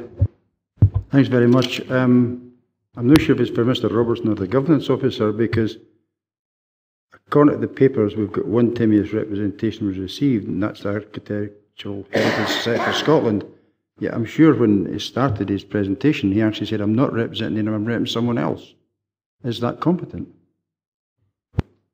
He's a registered speaker speaking on behalf of Patricia Woodley, and that's a normal procedure in this committee. We don't ask questions, I would have to say, if it's a read statement, eh, but it's certainly acceptable that he can read a statement from a third party. But I'll ask Nick to help you with your question. Nick, as a governance officer? I think I think what you've said is is quite correct, Chair. I wouldn't I wouldn't um, have an issue with it. So it's been a prepared statement, so thank you very much for that presentation, sir. Uh, we now have Councillor David Stitt looking to address the committee. Councillor Stitt, you'll get the same three minutes. I'll remind you 30 seconds to go. And the normal procedure is when you've concluded your presentation, you leave the chamber and members go into session. And again, David, whenever you're ready. Right, cheers, Chair. Thanks for letting me speak to this. As you see for of the latter photos there at Meikle Dalbeattie Farmhouse, for many years, to my eyes, has been neglected and badly needed a bit of repair. And I don't agree with what uh, it's in the report saying it has damaged the special character of the building because I think what's been carried out enhances the look of the building and also it's hardly visible for the main road, which is a Haugh Road, which is about 200 yards off the main road because it's always blocked out by trees. And also the other way you can only see Muckle Dalbeattie Farmhouse is at Craignair Road, looking across where the new campus at Dalbeattie School was built. And that was, that was about 700, 800 yards away from the main road. I think it's only in, in previous statement, it's enhanced the look of the building. And uh, I think it's only for the better of the building that the work has been carried out. Thanks for being so brief, David. Can you just remain in case members have questions for you? Any questions? David? Okay. Uh, uh, Elaine Murray, Elaine? I just wondered um, when this work was done. Is this, was it done because a new resident was in uh, in the property, or you know, did it coincide with maybe the the property coming into habitation? Or? The property was bought as part of by another by a farmer, and he bought the land just for more or less the grazing land, and he carried out the work. This had been done about six months ago, I think, Lena. And are other people living in the property now? Or? No, I don't think so. Thanks, Lane. Andy? Um, thanks very much, uh, um, Councillor Stitt. I mean, you're obviously the lo- local there. You know the area quite well. In your opinion, does, do these alterations that have been put in place actually safeguard the listed uh, building or, actual fact, uh, damage it? I would say it safeguards the listed building. As I said earlier, it only enhances the look of the building at present. Any other? John Martin? Eh, John Campbell, sorry. Thank you, Chair. Uh, I, I, I like your uh, interpretation of the picture that you see there that says enhanced, but I'm sure we've seen in one of the reports there was a very tiny window, and when you see the thickness of UPVC, because of the nature of the type of windows, I wouldn't say that would actually enhance the building. Would you agree with that? I think it's up to the individual's opinion what you think of the building. You might have told Councillor Ferguson the same thing. Uh, any other questions? In that case, Councillor Stitt, thank you very much for your presentation. Members were in... Pardon? Oh, aye, please, aye. Before we have any speakers, Ian, the distance from the road to the farmhouse? Uh, Chair, yes. Uh, the best I can get, sorry, I can't get into DGI with my new machine, but it appears to be around about 100 to 150 metres to the, the nearest houses. So, yes, well done. Uh, just as a quick point on that, the distance to other properties is entirely irrelevant because what you should be looking at is the character of the listed building. A listed building can be anywhere, and many of them are remote. So, whether or not you can see it from public viewpoints is irrelevant. You're looking at the actual long term character. And just a quick reminder that you can start a development uh, for planning permission uh, jump the gun with it, and that's actually not an offence. If you carry out any unauthorised alterations to a listed building, that is a potentially criminally prosecutable offence. So it is a slightly different case to planning. Ian Blake, I've got David McKee and Elaine. Did you want to speak, Ian? No. Okay, eh, David McKee and Elaine Murray. Eh, a month or two back, we had a look at a, a UPVC frame which was much narrower. It was more in line with the, the wooden frame that had come out of a, a house. Would that have been acceptable in this case? If they could get, obviously, the, the small windows fitted into that? Well, we've already had this debate, and UPVC, as far as I understand, is not acceptable in listed buildings. Is in conservation areas sometimes. But David? The only one that the um, the planning committee itself has looked at recently was the one at I think it was Atkinson Place, is it in uh, Kirkcudbright.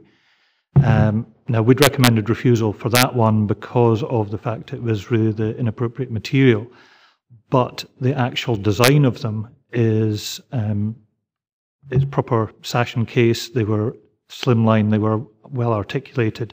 And whilst I, I, still disagree with the use of the modern material, having seen them in situ, I think they actually do look acceptable and have retained the, the character of it. I think it's with our concern here, if you notice, it's two particular issues that we've raised, and the, the secondary one is the material. It's the, the fact that this is, to be blunt, it's fairly low and lowest common denominator style UPVC windows which have gone in here, which undoubtedly, in my mind, have affected the character of it. We've had a number of instances recently where we have carried out enforcement action. There was one at Kirkconnell, there was one at Kirtle Bridge. Uh, they were appealed and the appeal was thrown out and enforcement action was taken require, requiring them to be removed and appropriate windows reinstated. So there's a consistency issue here and as I say, it, what's actually taking place here is actually an offence. Elaine? I just wondered, just for some clarification, if somebody wanted to delist a list C building, what, what procedure would they go through? David? There is a procedure where they would have to go to Historic Environment Scotland and provide a, a case, and they would then consider whether or not the character of the building had been so adversely altered that it would justify its, uh, its delisting. But that's not something we can control. The applicant has to apply to Historic Environment Scotland for that. Dougie? Thanks, Chair. David, um, I recall sometime last year um, we looked at uh, a house in Lochmaben. We actually had a, a, site visit because very similar circumstances. The, UP, the, the, the traditional windows um, had been replaced by UPVC. Um, and I think that in that particular case, uh, it had been recommended for refusal, but we uh, approved the application on the basis of the, the appearance. A lot of effort had been made into the appearance of the windows uh, to, to look very similar to the, the traditional wooden framed windows. I'm interested, you made a point that, that this case here uh, in effect an offence. Um, in the case in Lochmaben, if you, if you, if you recall it, um, was that the same case? Because, you know, this, this issue about um, you can have UPVC windows as long as they are uh, sympathetic to the previous appearance of the house. Could you maybe clarify that if you've got a recollection of it? That was actually a very different case. That was if I, I'm not involved in it any longer directly, but I think that was a local review body case. And it'd be, it was not a listed building. It was in the conservation area, therefore it required planning permission and it had been refused by officers and therefore it came before the local review body who decided after a visit to, to grant permission, but it wasn't a listed building. A listed building could never come before the local review body because it's, by definition, not a local application. David? Uh, thank you, Chair. Um, as to the use of the building at the moment, I, uh, I, I- I've seen for sale signs down there, and I think there's a similar building listed on the internet for sale, so I think it's for sale. Um, I think it's pretty clear to anyone who has a listed building that that um, they should be talking to planning about windows other than uh, you know a total restoration. So, um, and since they may well have found out that, that there were acceptable UPVC windows that may have resulted to into an, in a um, an opinion that we should um, approve this, and and that possibly isn't the case today. I don't I don't really feel there's um, sympathy for the application, and um, you know it seems to be out with what's acceptable. So I personally wouldn't wouldn't, wouldn't want to approve it. So can you just repeat that? Are you proposing we approve it or are you proposing we refuse it? I refuse. Yeah. We refuse it. So Um, you go with the officer recommendation? Yeah, I mean, we're not allowed to probably take into account other applications, but I think we're in, in danger as a committee of approving too many um, uh, retrospective applications, and, and this one is pretty clearly done in the full knowledge that it wasn't um, conforming um, and uh, doesn't look to conform to me, so um, I'd like to refuse. I don't think we'll record the fact that in the full knowledge they were not conforming as part of the thing. I just will go with the, the you've Yeah, agreed- quite right, you proposed Yeah. that they would go Yeah. with the recommendation. I've got Katie Yeah. and then Archie. Thank you, Chair. I'm just really looking for clarification, really. In, on page 74.5, there's a statement from Historic Environment Scotland regarding managing changes in historic environment, and it, it refers to windows. And in the last sentence, it says new double glazed windows may be acceptable if they can closely match the original window design, detail, and materials. Now, can I ask, is that in relation to listed buildings or conservation areas? Because, you know, obviously a, a listed building is different than being in a conservation area. And I think that's where clarity would be quite useful here. David?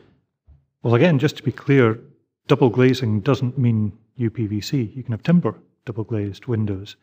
And again, we've been supportive wherever possible um, for listed buildings to have traditionally designed but double glazed windows because we do want to make sure that buildings are properly, um, in terms of carbon reduction, they're properly insulated. But it is unfortunately a little bit of a myth that the only way to get a sustainable development is actually to use um, UPVC. You can do just as well with timber. In fact, it's a far more sustainable material. So double glazing doesn't mean what you see here. Archie? Thanks very much. Just, I'm just clarifying, we are in session? Run this past me again. We are in session? We are in session. We already have a motion from okay, David that we refuse Uh, as per the officer's recommendation. Thanks, Chair, and, and, and to be honest with you, I do have some sympathy for the application uh, on getting the house warm, but that's about where my sympathy ends with this. You may remember a couple of years in Sanquhar, there were several windows that were UPVC, and we said no to that one as well. I think the issue here is the standards and expectations of all areas in Dumfries and Galloway with regard listed buildings and what we would see as a difference of, of opinion in, in these areas. To that end, Chair, I think we need to go with the recommendations on this particular uh, application because, as has been seen in the photographs, there is some several windows here which, which is not not good standard for that particular building. And are you seconding David's proposal? Okay, that's good. Uh, David McKee? Where is it? You like to see the gentleman that's sitting in the corner there, Chair? No disrespect, yeah. Oh, David, I sorry. I did say to you at the outset, as soon as you finish, you're obliged to leave the chamber. My apologies, David. Accept to the belt and don't do it again. uh, so we have a motion and a seconder to refuse the application. Andy Ferguson? Thanks. Just um, if the officers know um, or can confirm to us that the the changes, i.e. the UPVC, have actually been put in by the current owner, or were they put in before? David? As far as I'm aware, the applicant put them in because they're applying retrospectively for them. Is that correct? Um, uh, no, the reason I asked the question is because I had to retrospectively apply because somebody else put them in and they were, someone else had put them in in my house they had to, and uh, I had to apply for retrospective plan permission, as you know. I, and um, but the culpability lay with the previous owner because it was a listed building.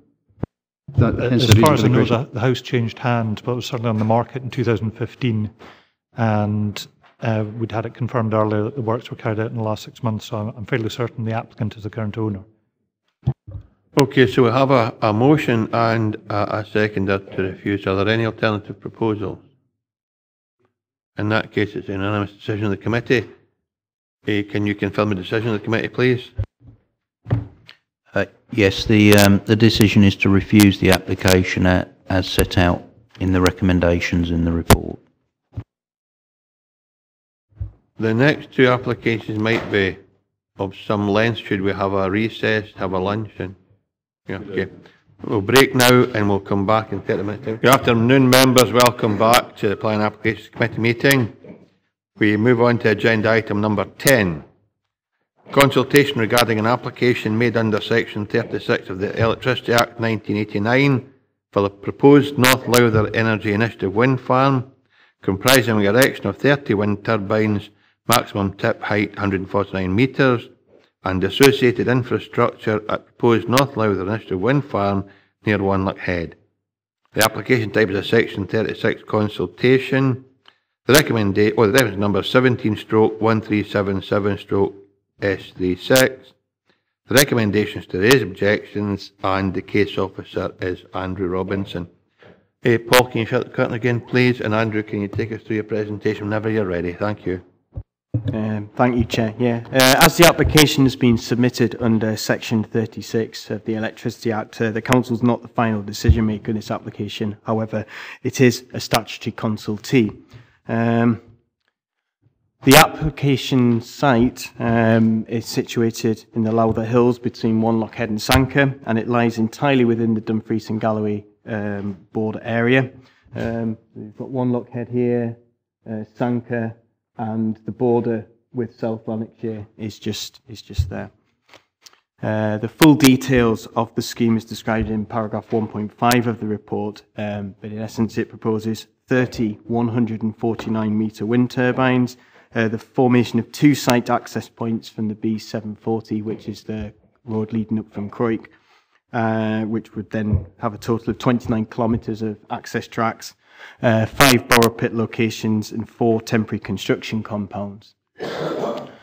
Um, the scheme um, was amended throughout. Um, it originally proposed 35 wind turbines, so just to give a bit of context to that, um, the applicant removed five turbines in the southern part of the site and an associated access track to that.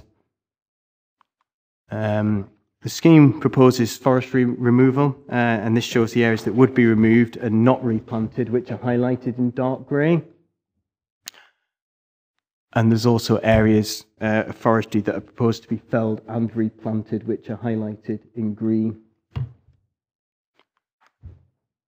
Um, the proposed turbine um, elevations, um, they're a typical three-blade uh, turbine up to 149 metres. Uh, the hub height is proposed to be around 89 metres.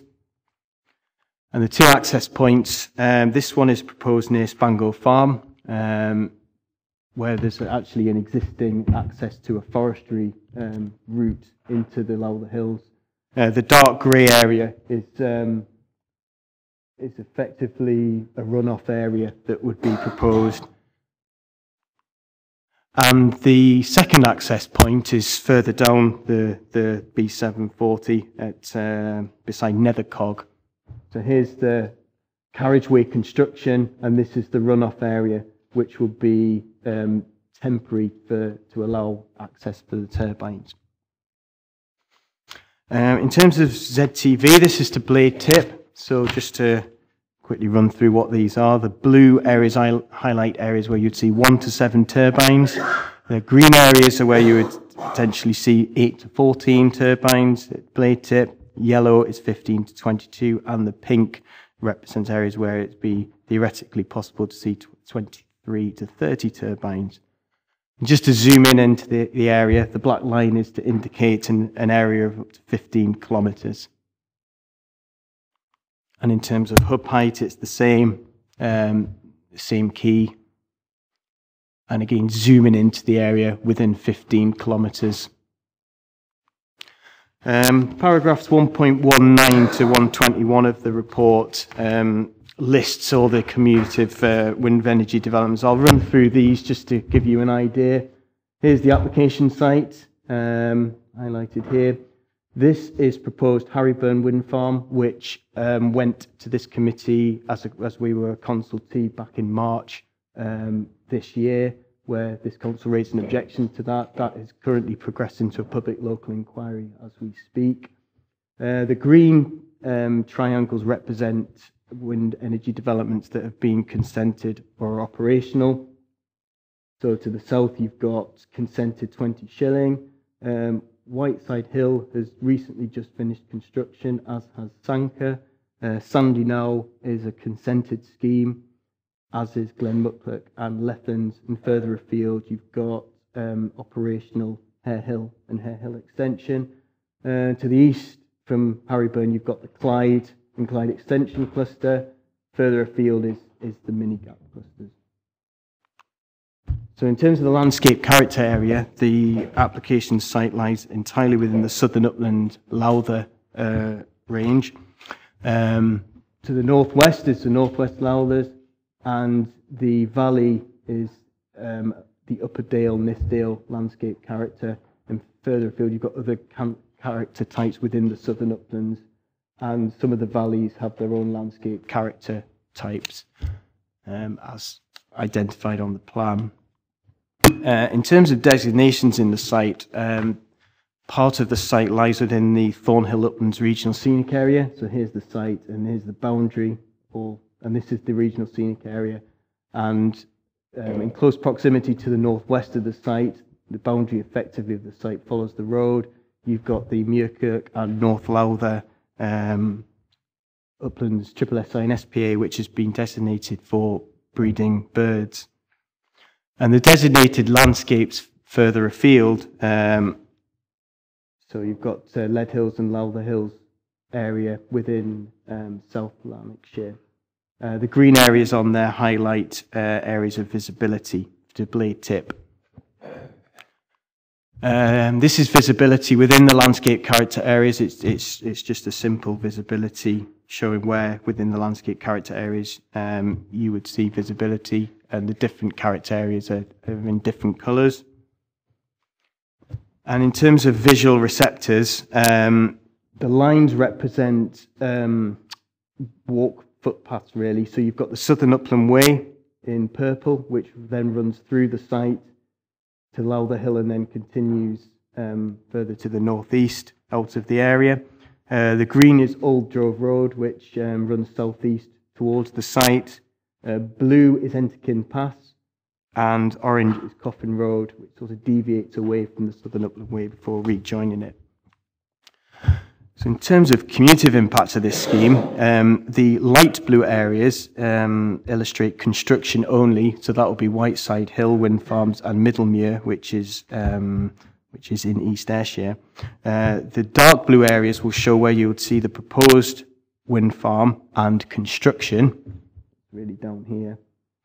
Uh, the, the yellow represents existing wind farms, so that's Hare Hills, Sanquhar, Sunnyside, and Clyde wind farms. That's visibility of existing wind farms. Um, the areas of orange, some here, some here, uh, that shows the proposed scheme and existing.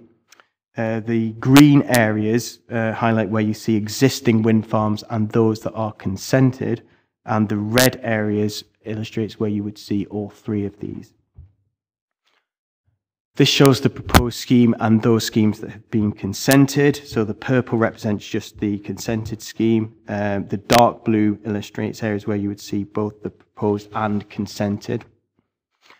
And in terms of the Harryburn scheme, um, the purple illustrates areas of the, the proposed wind farm, um, and the dark blue illustrates where you would see both the proposed and consented. Moving on to the uh, viewpoints, this is the first viewpoint, which is actually taken within the site, but it's on the Southern Upland Way. Now, in all of these, um, the Y lines, I'll just go through what they represent. So the, the blue illustrates the proposed scheme. Uh, green turbines represent those that are consented. Um, any purple turbines represent uh, application at the time that the um, information was submitted with the application. Black identifies existing wind farms and light blue illustrates construction. So running through this, you are looking west, so you can see um, in the foreground is the proposed scheme. Uh, looking north, proposed scheme and uh, other clusters of, of wind farms. Uh, looking to the east, that's where proposed Harryburn is, and looking south from this viewpoint is the uh, proposed wind farm. And in terms of the photo montage, this is actually looking west. Um, this viewpoint is taken from the Southern Upland Way, uh, just above Wanlockhead. So as you're approaching Wanlockhead, so this is the photo montage, the Y line on the bottom and representative photo montage above. And along the hill, which is quite a key viewpoint, um, which is the highest point of the Southern Upland Way. Um, so the top um, shows looking west, so you've got the application site in the foreground. We've got a bigger photo montage of that one. I'll come on to that in a sec. Uh, looking north is towards South Lanarkshire, so proposed Harryburn and the Clyde clusters. Uh, looking east is um, landfall, and then looking south, you've got Ulzieside, and which is a proposed scheme, and Whiteside Hill.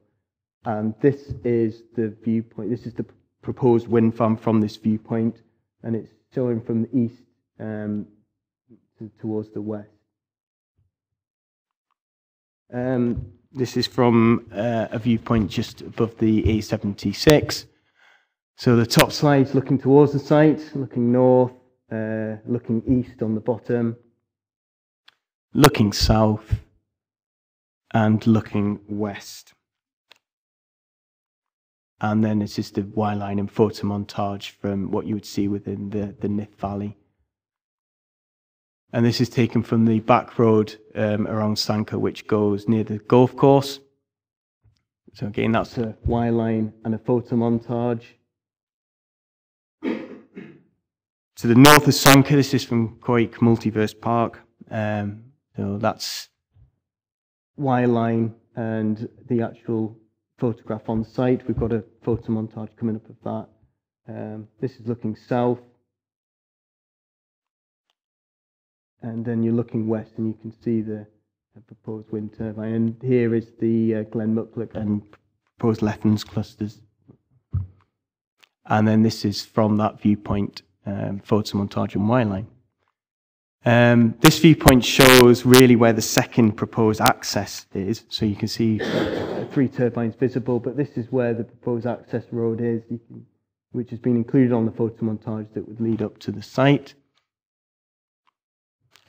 This is taken further afield from the southern upland waste as, you, as you're approaching the site. So this is a, a, a little bit more of a longer range. So this is looking northeast towards the site, looking southeast, and then looking in the other directions, so southwest, and then the bottom one would be looking northwest with the upper Nithsdale cluster of wind farms shown there.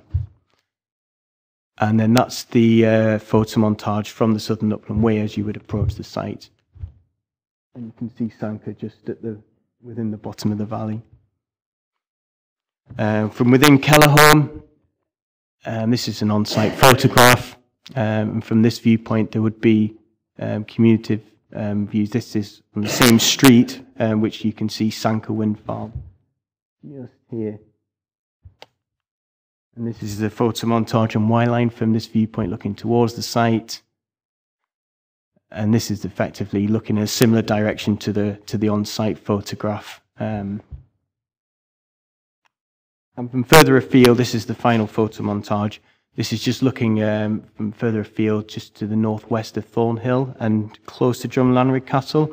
So it's really just to illustrate the scheme as it would be uh, seen from long distance views in the Lowther Hills. So you can see the Lowther Hills range here and the proposed scheme just here. Uh, there's a there's a few residential properties within three kilometres of the site. A couple within the application site are actually within the applicant's financial interest. Um, We've included the wire lines um, from those properties which have been considered in the ES to have significant effects. So this is from a property, Brandley's Farm, to the south of the site. And again, from um, just Y lines on these ones. Um, again, this is from close proximity to that previous property. This is from Spango Farm Group from to the north of the site. And then a property called Muirhead, which is to the south of the site. So, um, having assessed the consultation responses received internally from the council, um, it's considered that the proposed development, by virtue of its location, siting, and scale of turbines and general design, would give rise to an unacceptable strategic community landscape effect, as it would extend development into an undeveloped area of the Lowther Hills between the Clyde clusters and those developments in Upper Nithsdale. And it would have an unacceptable direct impact on the Lowthers unit of the Southern Uplands landscape character type and an unacceptable indirect impact on the Upper Nithsdale unit of the Upper Dale. Uh, it's also considered the proposed wind farm, again by virtue of its location, siting, scale of turbines and general design, would appear as a visually dominant and incongruous development which would result in significant adverse visual and cumulative visual effects in itself and in combination with other approved or built wind farms from a number of sensitive receptors. And proposed wind farm, again by virtue of its location, siting, and scale of turbines and general design, would adversely influence the northern section of the Thornhill Uplands Regional Scenic Area, sufficient to compromise the special qualities of the designated area. As such, this proposal is considered contrary to the Council's development plan policies, as well as Scottish planning policy, which states that planning permission should be refused where the nature or scale of a proposed development would have an unacceptable impact on the natural environment. Thank you, Chair. Thank you, Andrew. Can you open the curtain again, please? Amy. or- Amy, you open the curtain, please? Thank you. Hey, members, questions for the case officer at this time, Archie and then Ian? Yeah, Chair, thanks very much. I think there's, there's sort of perhaps two or three questions I have on, on this particular report. In, in, in page 95 on representations at 3.1, it says, uh, obviously we are, um, we're not the, the, the, the, the planning authority, it's the Scottish Government is the planning authority, but it says there's no, not applicable for representations. I, I, I, maybe I've picked this up wrong, or maybe my, my mind's playing games with me, but in previous applications, even when we were just the, um, you know, one, of the, the consultees, we did have third-party representation. Now, I'm not, I, I can't remember if that is, I've just, I'm just raising that as a point. Why, why is there no representations applicable? Because I think we have had in the past. Secondly, um, I'm sure some members may have had phone calls from, from people with regards this, and they talk about the local public inquiry if we go with the recommendations. Now, I don't like any verbal bullying or that of, of, of members, and I did say to them I will not make any recommendations, you know, when, when speaking to them, I will not say whether I'm going to support or object to any proposals. But they talk about the cost of a, a local public inquiry in um, if, if we go with the recommendations, and they keep on mentioning this hundred thousand pound that'll cost the council in a time when councils are getting, you know, less and less budgets from uh, governments. So I, I'd like to understand first of all um, why there's no representation, and secondly, wh- how how can you tell how much a cost would be for local representations if there might not be a local public inquiry? Um, so perhaps we we can get some clarity on that. David? As far as the representations is concerned, as far as I can recall, for many years, we've had nothing quoted in terms of representations for a Section 36 application because they don't, the representations actually don't come to us. They, they go straight to the Energy Consent Unit to the Scottish Government. So it would be wrong of us to actually put any representations in there. Any third parties, any community council, for example, for a Section 36 consultation have to go to them. So I don't recall in many recent years quoting it. Uh, yeah, well, indeed. Um, in respect to the other one, I, I'm unaware of the fact that you'd had all the phone calls. And I suppose members are there to be lobbied, but at the same time, uh, it's for you as a committee to take on board all the material planning considerations. It shouldn't be uh, regarded as a threat that it's going to be a cost for a PLI. Um, it's inherent that there will be a cost with it. We know that, but the the correct decision has to be made on planning grounds, and uh, if uh, there's a cost involved, so be it. Okay. I mean, obviously there are there are um, knock-on effects to, to this as well, and if, and it's only an if, we raise no objections to this, uh, we would have to give reasons to raise no objections. Yeah. David? Yes, I mean, you, you would have to clearly state the reasons why, um, because given that the officers have given a clear assessment of it and the effect, how it's considered to be contrary to the LDP and the related supplementary guidance, uh, you would have to give justifications for overriding that, but more than that, you would probably have to give us some steer as officers as to what legal agreements and or conditions you'd want attached. We, we obviously have a fairly standard list and the Energy Consents Unit indeed has a, a list of standard conditions they apply, but we would still need to give advice to them as to what the local authority would be looking for. I've got Ian Blake, Blake. I think Elaine indicated to speak, and I've got Andy Ferguson. Thank you, Chairman. Uh, my point's uh, about Andrew's presentation, and it by no means is a criticism about the presentation, but the reference in the Y diagrams, particularly to the accumulative effect, and then relating the colours. Uh, Andrew's obviously working with the current technology, but to me, every single part of that diagram was in black and white, uh, and I think I've got fairly good eyesight, although I'm wearing glasses for, for reading. It just, uh, in, a, in general terms, is there some way that this could be enhanced? David? We've had this discussion quite regularly, but really, when we are giving you these visualizations, it is to give some assistance and maybe members who haven't had the time or opportunity to look at the actual documents or see them online. It's just to put it up on the screen so you have something to go on.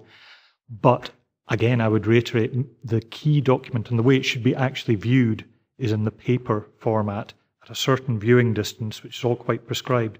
So we're actually, by putting it on the screen, to a degree, we're almost misleading you because it's not the way it was produced, it's not the way intended to be viewed. So we have in the past, I know um, with some of the wind farms, put copies of the visualizations in the members' lounge beforehand. I don't know if we've been maybe forgotten to do that recently, but we could start doing that again if that would assist, because that is how you're meant to actually view them in the paper copy right in front of you. Yeah certainly, I think I think that would certainly help me. I think about other members. So in the future, we'll have visualisations in members' lounge. Thank you, Elaine. Did you indicate you wanted to speak? Yes, thanks. Um, really, it's. Uh, I suppose it follows on from what Archie has said that we don't get a copy of any of the representations, and yet Forster have written to us saying the host community council of Sanquhar and the Upper Nithsdale Community Trust have both written in support of the application as have over 100 residents living locally, many welcoming the economic benefits of the scheme. Now, I know that goes up to the Scottish Government because it's the Scottish Government that has to, to make the decision in regard of that. But in terms of our submission, are we only permitted to say what our objections are? Are we permitted to make any comment on any aspects of it which we might think were beneficial? David? Well, obviously, the, the socio-economic benefits are a material consideration, and Andrew's report has covered that um, in four point, well, page 116 and 117. So it is something that we, we have to bear in mind as a material consideration. But obviously, at risk of uh, sounding like a stuck record, if the, the community benefit to a community council is being put forward as a socio-economic benefit, then that can't be taken into consideration for a planning. Yeah, but we, we can't see that because we don't see any of the representation, so we have no idea what actually they're saying, whether they're saying it benefits them or whether they say it benefits the rest of the community. I think it was more that in terms of the recommended decision, our decision has to be only about what we don't like about the application, but we don't say anything about anything that we might think was beneficial. Well, the, the, really, the council is being asked by the Scottish Government to say whether or not they object to it, and that's all they're, they're really asking from us. If the council isn't minded to object to it, then the standard practice is to give a list of conditions and or legal agreements that we would request that the Scottish Government consider for putting in place. But it's a fairly limited thing. We are being consulted by the Scottish Government for our internal consultation comments. So that's why if you actually look at the comments that you've got, they're, they're all council internal officers. So you've got landscape architect, the archaeologist, roads. It's people like that. It doesn't go, we don't consult any further than internally. Thanks, Elaine. Andy Ferguson. It's actually kind of on the same grounds, and I, I think I'm looking for a bit of guidance here. Uh, uh, my understanding is this is the council's response to the process, whether we agree, uh, you know, whether we object or not. Am I- That's right. Yeah. And what I don't find very helpful, I have to say, are huge tracts of this report, which are actually other statutory consultees' responses because we shouldn't be even considering them because that's no, that's not that's not our role here. Um, so, um, why? It's, I think I'm, I'm I'm really struggling here to find out why there's so much here from statutory consultees outside us. We always well, the, the, the thing is, no, the, we, we're being asked to put our, our views in, right? not reflect the views of other statutory consultees. And that seems to be If the what's in here. recommendation appeared without that information, the first thing you'd ask is how you got to that conclusion. David? Well, well sorry, can I, can I just ask for clarification as to Well, what it's, external it's, it's, it's like the SNH, David, for example, and uh, um, some of the uh, historic stuff. Um, and it, it, it's all covered there. There's, there's massive tracts here in, in this that I'm reading that are talking about the different parts of the Lowther Hills and, uh, uh, well, where do you want to start? Um, there's pages and pages and pages of it. I had one the other day now. Um, uh, it's um, give me a second. I'll come back to it and I'll, I'll find find exactly the ones. I'm, I'm jumping about here, looking the archaeological sites in surrounding areas. For example, um, uh, National uh, Historic Scotland are commenting on that. Yeah, I'm, I'm just finding it uh, about the biodiversity about South Lanarkshire biodiversity strategy and everything else. That's not what we should be considering here. It's what our uh, what our strategy is. So Andrew's suggesting that it not- doesn't fit our council policy. David, can you maybe assist?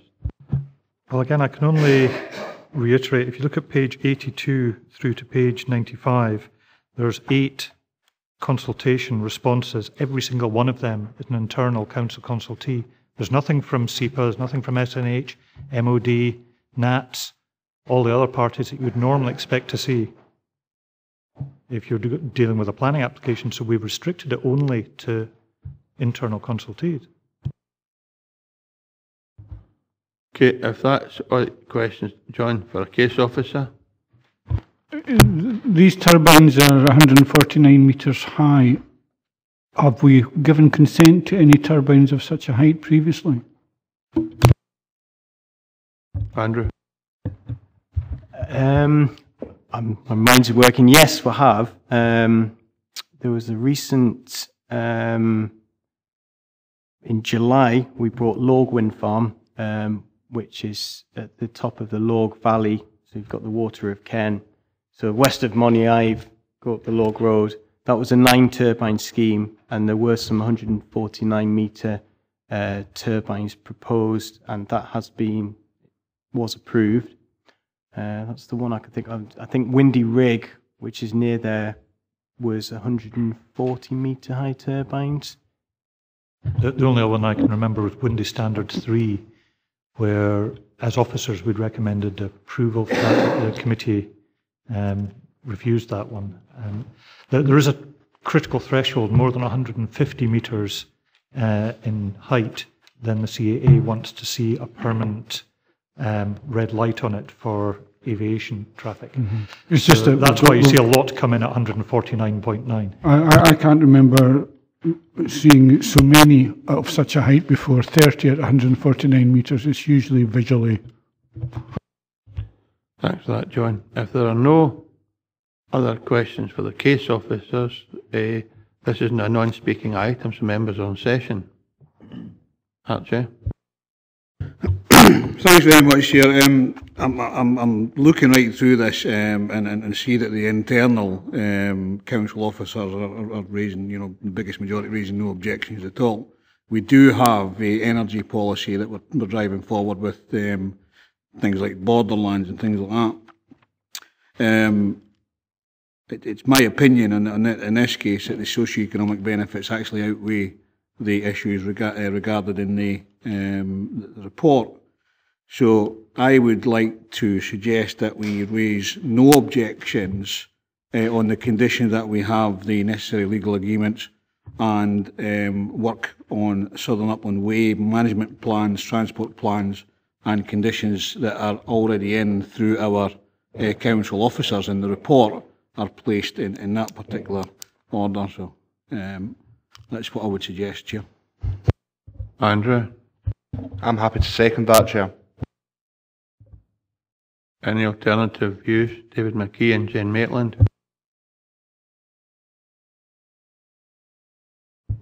Sorry, sorry about that. I'll catch up with you. Um, I prefer to go with the officer's recommendations, Chair. I think that, as we've seen on the, the maps that were up on the wall there, the amount of turbines in this area are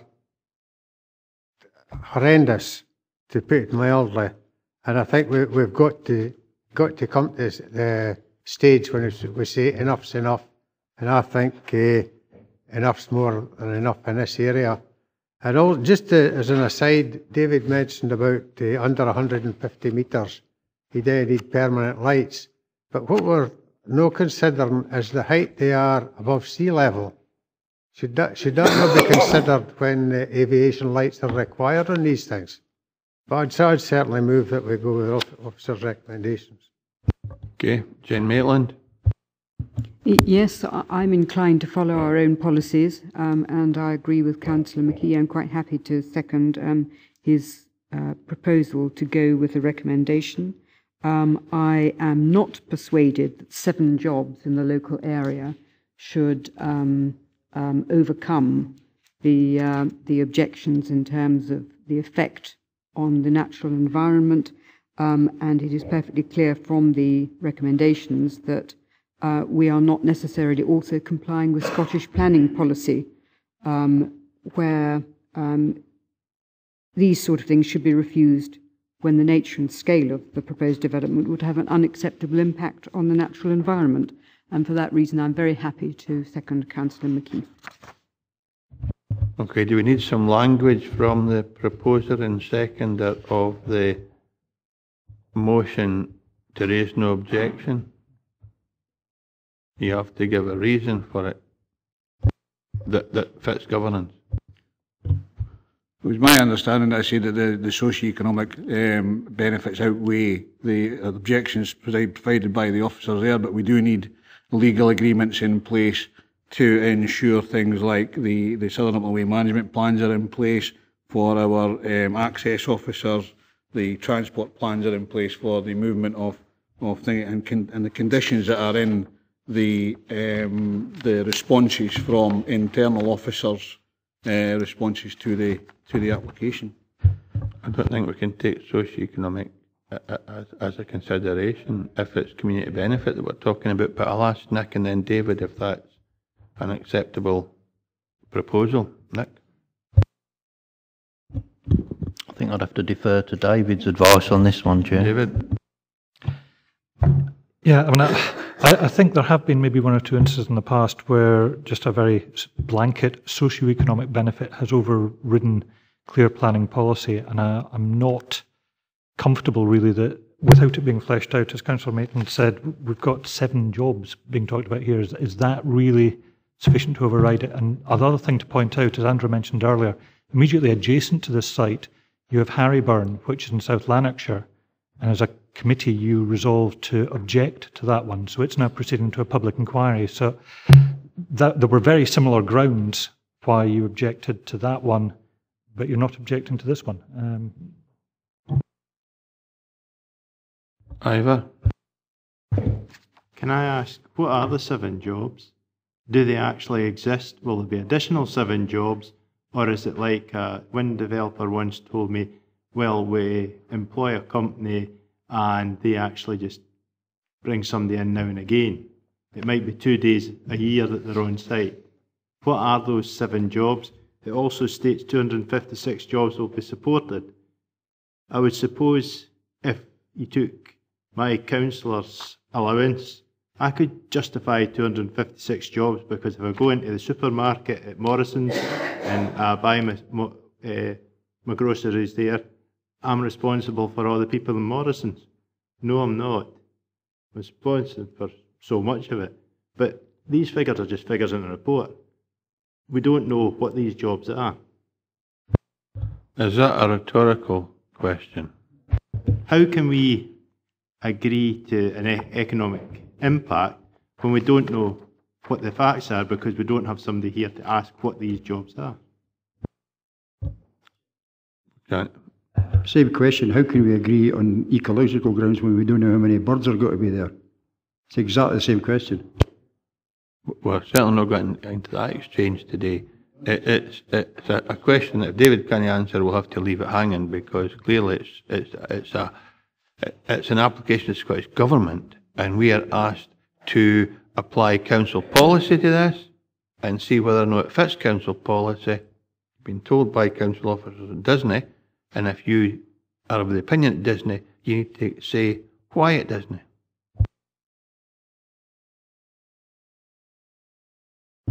Chair, I'll come back to what I said before, and it has been said, I believe that the socio-economic benefits far outweigh what's been put in this report.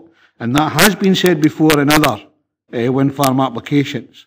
Um, the situation on legal uh, legal agreements is, is, is, you know, we've, we've written legal agreements prior to this with other wind farms, and, and therefore I propose that's, that's the way we go forward. I would like to, however, see some uh, management plans in Southern Upland Way as part of those conditions, and the transport plans, and also the conditions that have been said within the report that the, uh, there is no objection from council officers on roads and other places um, that, that those, those considerations are taken in place.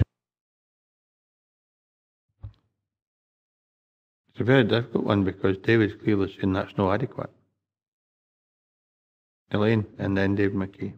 I think again, it's it, it, the problem is the sort of information that we have in front of us, really, in, in determining this, because we've also had something sent out to us by uh, the applicant, which refers to three projects. This project, the energy park, which I don't think is consented, but the Glenmuckloch, which is consented, and that's claiming that it that they, together they provide up to 33 full-time equivalent jobs during operation and a community benefit of up to £735,000 annually. So that's some other information, I think, to a certain extent. That, you know, that indicates that there would be a very significant socio-economic benefit, and which is, you know, part of my frustration that we had to, we have to either say we object or we don't object, but we can't actually highlight what might be good and what, what might be uh, more objectionable about the, the, the proposals. I think though it's already been said, we cannot take community benefit into account. David? Well, I do find it rather, yeah. Members are obviously party to information that the applicant has seen fit to send to yourselves only and not copy to officers. So I'm finding it difficult to actually advise you on this because you're party to information that's not been shared. So you're making a decision on basis of information that is not in the public domain that we don't have. So if you're of the opinion of what you've received is sufficient to give you that comfort, then so be it. I can't overrule it. Joe McKee. I think I think I got a letter to that guy too, and I've got a shredder in my room. And when I open that letter, that's the first place it goes into the shredder. I never read them. And what, what we've Oh, got the to, I'm, I'm here to to be told what people want, and the applicant should be here explaining what he wants, know what other people's ideas are. Applicants And with all due respect, Chair, I'm sure you'll recall as well, when community benefit first came in, we as a council suggested that half comes to us, the other half goes to the community involved. And that was refused, the community wanted the lot. So what you're saying about community benefit and where it can be used is totally irrelevant because we have no input whatsoever into that. And I, I'll go with the, the raising objections, Chair. I didn't say anything about community benefit where it could be used. What do you respect, Chair? I wasn't referring to you, I'm talking to the committee as well. What I was saying was we're not allowed to take the, the community benefit into account when determining an application. It's an arrangement, it's a voluntary arrangement between wind farm developers and local communities. That's what it is. It's not part of the planning process. I'm really unhappy that we're getting into this situation, and David is quite right. We object socio-economic benefit would come to Leadhills maybe if that Harryburn had been approved, and we object to it, and now we find ourselves supporting this because we think there's some money coming to the area. But anyway, I will accept the proposal and I'll accept the amendment. I'm going to vote. Can you remind members what the vote is, David? Eh, Nick, please. Uh, yes, Chair. Um, proposed by Councillor Driver and seconded by Councillor Giusti, Giusti is to raise no objections on the grounds that the socio-economic benefits outweigh um, the issues raised in the officer's report, but this is this is to be subject to appropriate um, management plans, legal agreements, and transport plans, etc., being put in place. The amendment proposed by Councillor McKee and seconded by Councillor Maitland is to um, raise objections as set out in the officer's report. Go to the vote, Nick, please. Councillor Dempster. Amendment. Councillor John Campbell. Amendment. Councillor Blake. Amendment. Councillor Dougie Campbell. Amendment. Councillor Carruthers is absent. Councillor Dryburgh. Councillor Fairburn. He's not here. Councillor Ferguson. Councillor Ferguson. Uh, motion. Councillor Giusti. Motion. Councillor Hagmann is not here. Councillor Hyslop. Councillor James is not here. Councillor Lever. Motion. Councillor Maitland. Amendment. Councillor Martin. Amendment.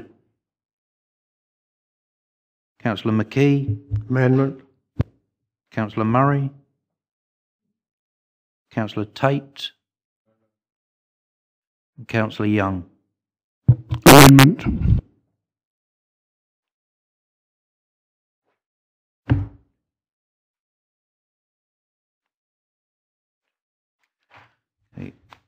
We have five members voting in favour of the motion and 10 in favour of the amendment. The amendment is therefore carried and objections are raised I as think I make- set out in the Are report. you, are you sure it's five? I make it six. I make it five. Do you? Yeah. That is right. Okay. Go to agenda item number 11. Erection of eight wind turbines and ancillary infrastructure, including transformer kiosks, eight crane pads, control building and substation compound, temporary construction compound, one permanent anemometer mast, maximum height 60 metres, two temporary anemometer, anemometer masts, maximum height 60 metres, underground cabling, two borrow pits, formation of new vehicular access and construction of site access tracks at variance with conditions 1, 10, 26, 27, 28, 29 and 30 of planning permission granted under the terms of DPEA Appeal Reference PPA-170-2105.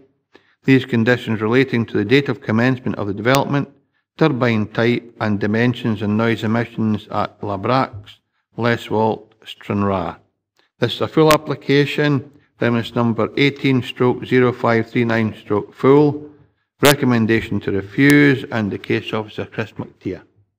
Chris, just, oh, Amy, can you shut the curtain again, please? And uh, Chris, just through your presentation, please. Thank you very much, Chair, and uh, thank you for reading through the rather wordy description of uh, the application in front of us this afternoon. Um, it's here uh, in front of members uh, as it's an application for major development uh, as set out in the hierarchy of development regulations. Uh, the application today is made uh, under our old friend section 42 of the Planning Act, which is determination of applications to develop land without compliance with conditions previously attached, and as members will be aware, um, if approved, it would result in a new freestanding permission. Um, the site, as you can see uh, in the plan there, is uh, located in the west of the region on the coast, uh, eight kilometres to the north of Portpatrick and eight kilometres to the west of Stranraer. Looking at it in a bit more detail, whoopsie daisy, uh, we're going too far. Um, the site covers uh, 558 hectares and encompasses uh, both Larbrax and Galdenoch Moors, and it's located entirely within the uh, Rhins Coast Regional Scenic Area. It's just a quick uh, look at the site layout there. Um, a quick bit of background uh, to the application. Um, it is set out in uh, paragraph 1.2 of the report pages 125 and 126 uh, of your committee papers. Uh, the original planning application uh, for this one was 15P10044, which uh, was refused by members um, at the Planning Applications Committee of August 2015. Uh, it was subsequently appealed uh, to the Scottish ministers who allowed the appeal in October 2016.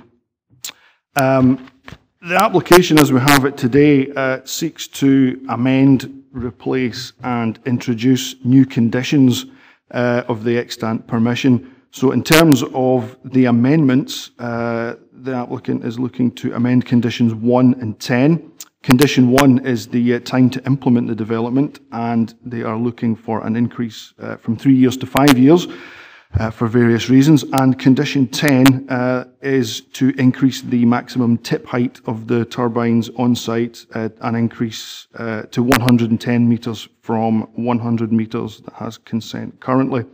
Uh, in terms of replacement, conditions 26 to 30 uh, were put on the, con the consent by the reporter and these cover noise and they're looking to replace these conditions with a new condition 26 uh, it's rather long, uh, eight pages to be precise, and it's included in your report at Appendix 1, uh, pages 150 to 157 uh, of your report.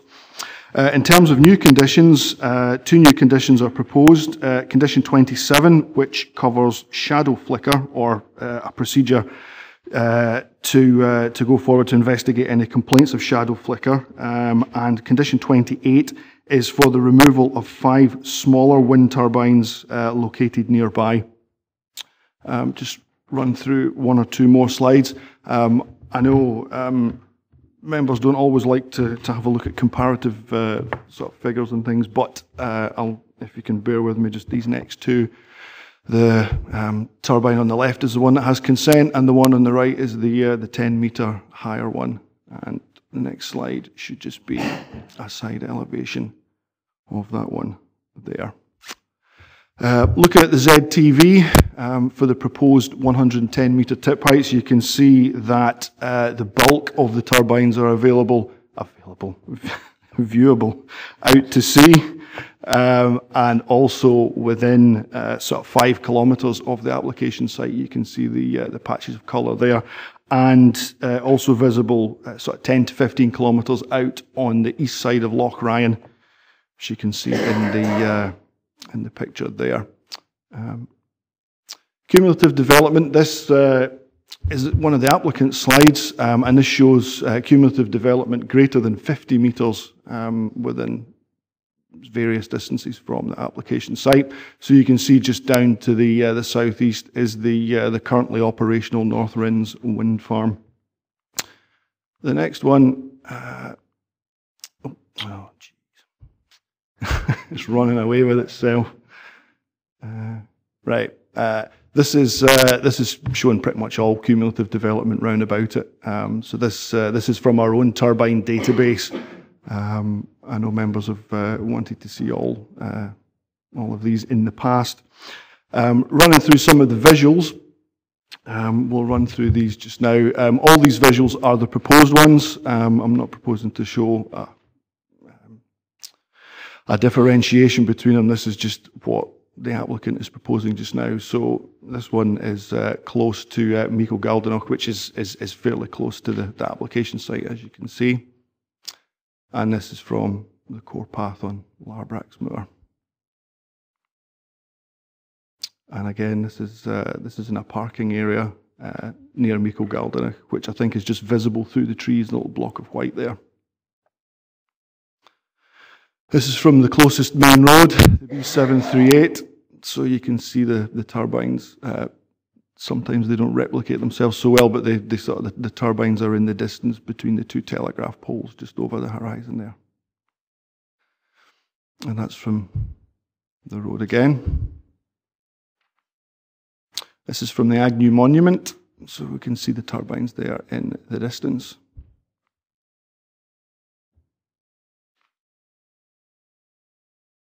I think it's just about to splurge forward again. Go on. Oh, yep.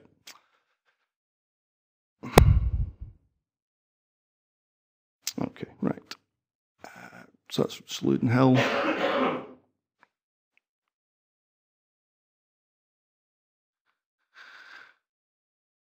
Viewpoint 9, High Auchenneil, you can see just in the foreground there, the uh, you can't really see the blades, but that's um, that's a, an old school horizontal axis two blade turbine just uh, sitting in the foreground there.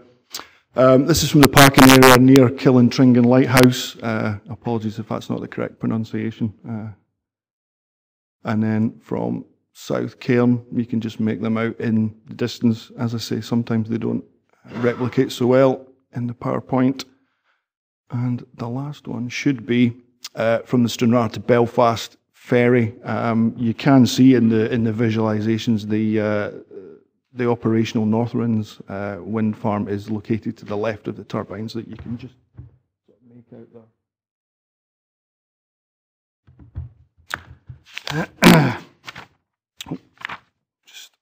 so that's the last uh, view slide that we have. Um, the council's landscape architect has objected to the proposal, uh, specifically the uh, the proposal to alter condition 10. Um, her response is summarised uh, paragraph 2.8 of your report on page 131. Um, and just the very last uh, point that she makes there um, is that the proposed development would introduce incongruous and intrusive large-scale wind farm development on a stretch of regionally important and RSA designated North Rhins coastline.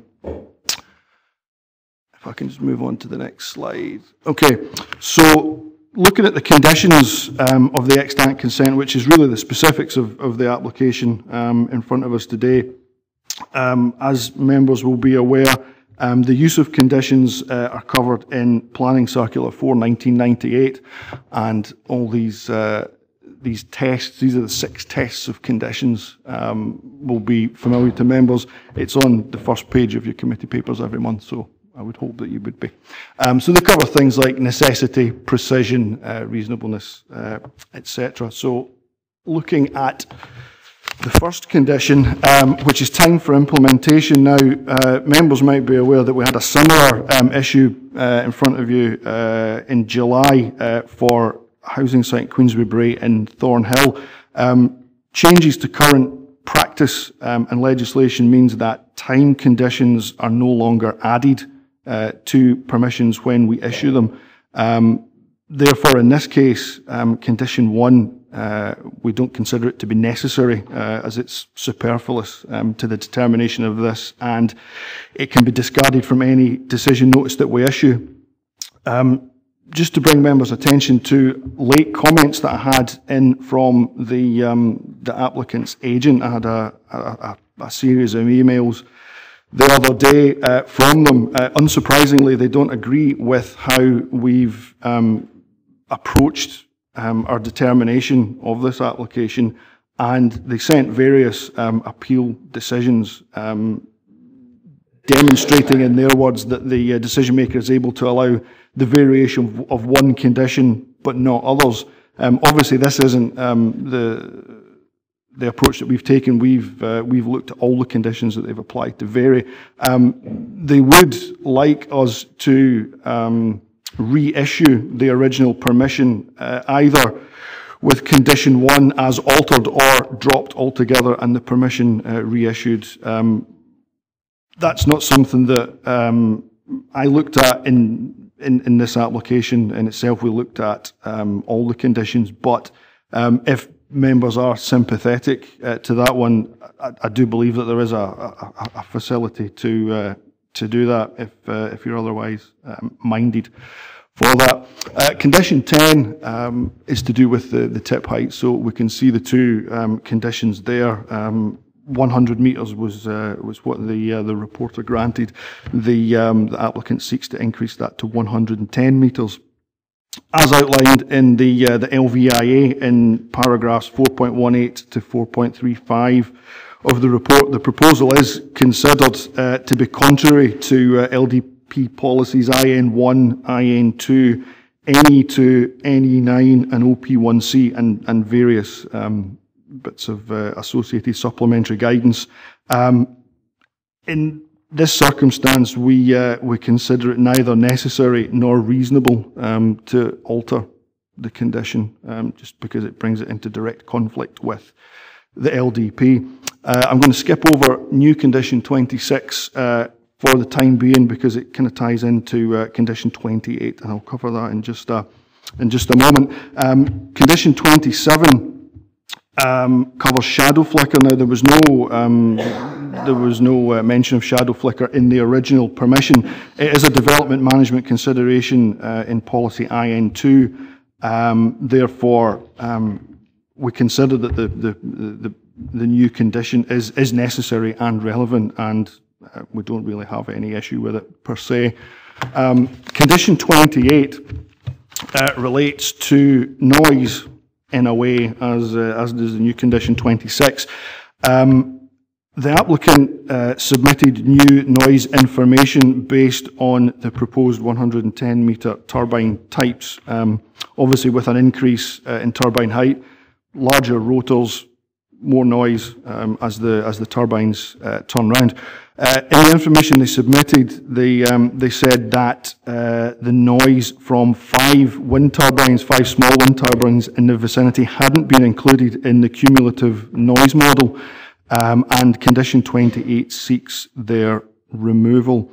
Um, we consider this to be unnecessary, um, as the original application uh, didn't require the removal to implement the decision. But we also view it to be uh, unreasonable and possibly unlawful to use a condition to uh, nullify existing implemented lawful development. Um, going back to condition 26, um, because of the question of the five small turbines um, in, in the being excluded from the noise modelling, um, we have questions over the precision of uh, condition 26, um, which is somewhat ironic given that the, it's eight pages long and we consider it to be imprecise. Um, but that's, uh, that's, that's the view we took. Um, overall, uh, the, the planning service uh, can't support the proposal. Um, we do acknowledge that there is a level of local support um, for this proposal um, based on the uh, letters of representation that we received and the community council responses that we also had in uh, for this one. A lot of it's based on community benefit, but for the reasons um, outlined in the report, um, we recommend that this application is refused. Thanks. Thank you, Chris. Amy, can you open the curtain again, please? And we're up to mem members' questions for the officer. Andy? Thanks. Um, I appreciate the comments uh, not made by yourself, but uh, 2.8b on page 131, um, I would have liked to have seen the whole quote rather than just a paraphrase, uh, some bits taken out. The proposal is contrary to a number of provisions of the development plan. Uh, da, da, da, there remains a significant development plan policy conflict because the, the question really is, are there any extra turbines? Are they in different positions? And that's the first question. And I'll, I'll come back. And that view from the ferry, is that the, is that the same view we, u- we used in the initial um, consideration of the original, when, when we refused permission and it was then overturned? Or is that a new picture? Chris? Uh, in answer to the first question is uh, no, there's uh, no new additional turbines proposed. Um, the site layout that, that was there is, is the layout that currently has uh, planning permission. Um, the nature of the Section 42 application is, is, is to take something that already has consent and change some of the conditions um, for that. Um, as far as I know, having had a, a, a quick look at the original application, the, um, they reused a lot of the um, the same viewpoints um, from them. Obviously, they didn't take, they didn't use all of them because there were a lot more. But the one from the ferry um, was was was one that they used before. Andy. Um, thanks. Um, that was exa- that's what I thought was my understanding. Okay. Um, so that point B made by the council landscape architect is actually really important because that's the only objection. And the, the reporter, in their wisdom, sought to overturn the original decision. So there must be more than that that actually gave them the um, the reasons for overturning that decision. And and I think that that that single paragraph is the crux of this whole thing here, because is this a rerun of planning application one as opposed to the thing it went to appeal? Um, I don't think it is. This is actually to see if we're going to let them uh, alter the size of the turbines more than anything else. So that B statement appears to me um, that it's a like I try to rerun the, the original thing, and I'm, that's why I'm thinking that that missing part of the quote is really important. Is that a statement or a question? Asking where, where, what is the whole, that whole quote? Yeah. I'll get David to answer. Basically, the reporter went through it bit by bit, and you know that's that's all available online information as well. The when they looked at it, the reporter concluded that it was contrary to uh, a number of the provisions of the development plan, but the overriding weight he gave to it was the contribution it made to the Scottish Government energy generation policy. So that overrode the local development plan in this instance, in his opinion, which is why he granted permission. The comments of the landscape architect really relate to the fact that, well, she, in fairness, being consistent here, she objected first time round. It was refused by the council first time round. This is making it another 10 metres higher and therefore more visible. So it would be surprising for her to come back and say anything else. Elaine?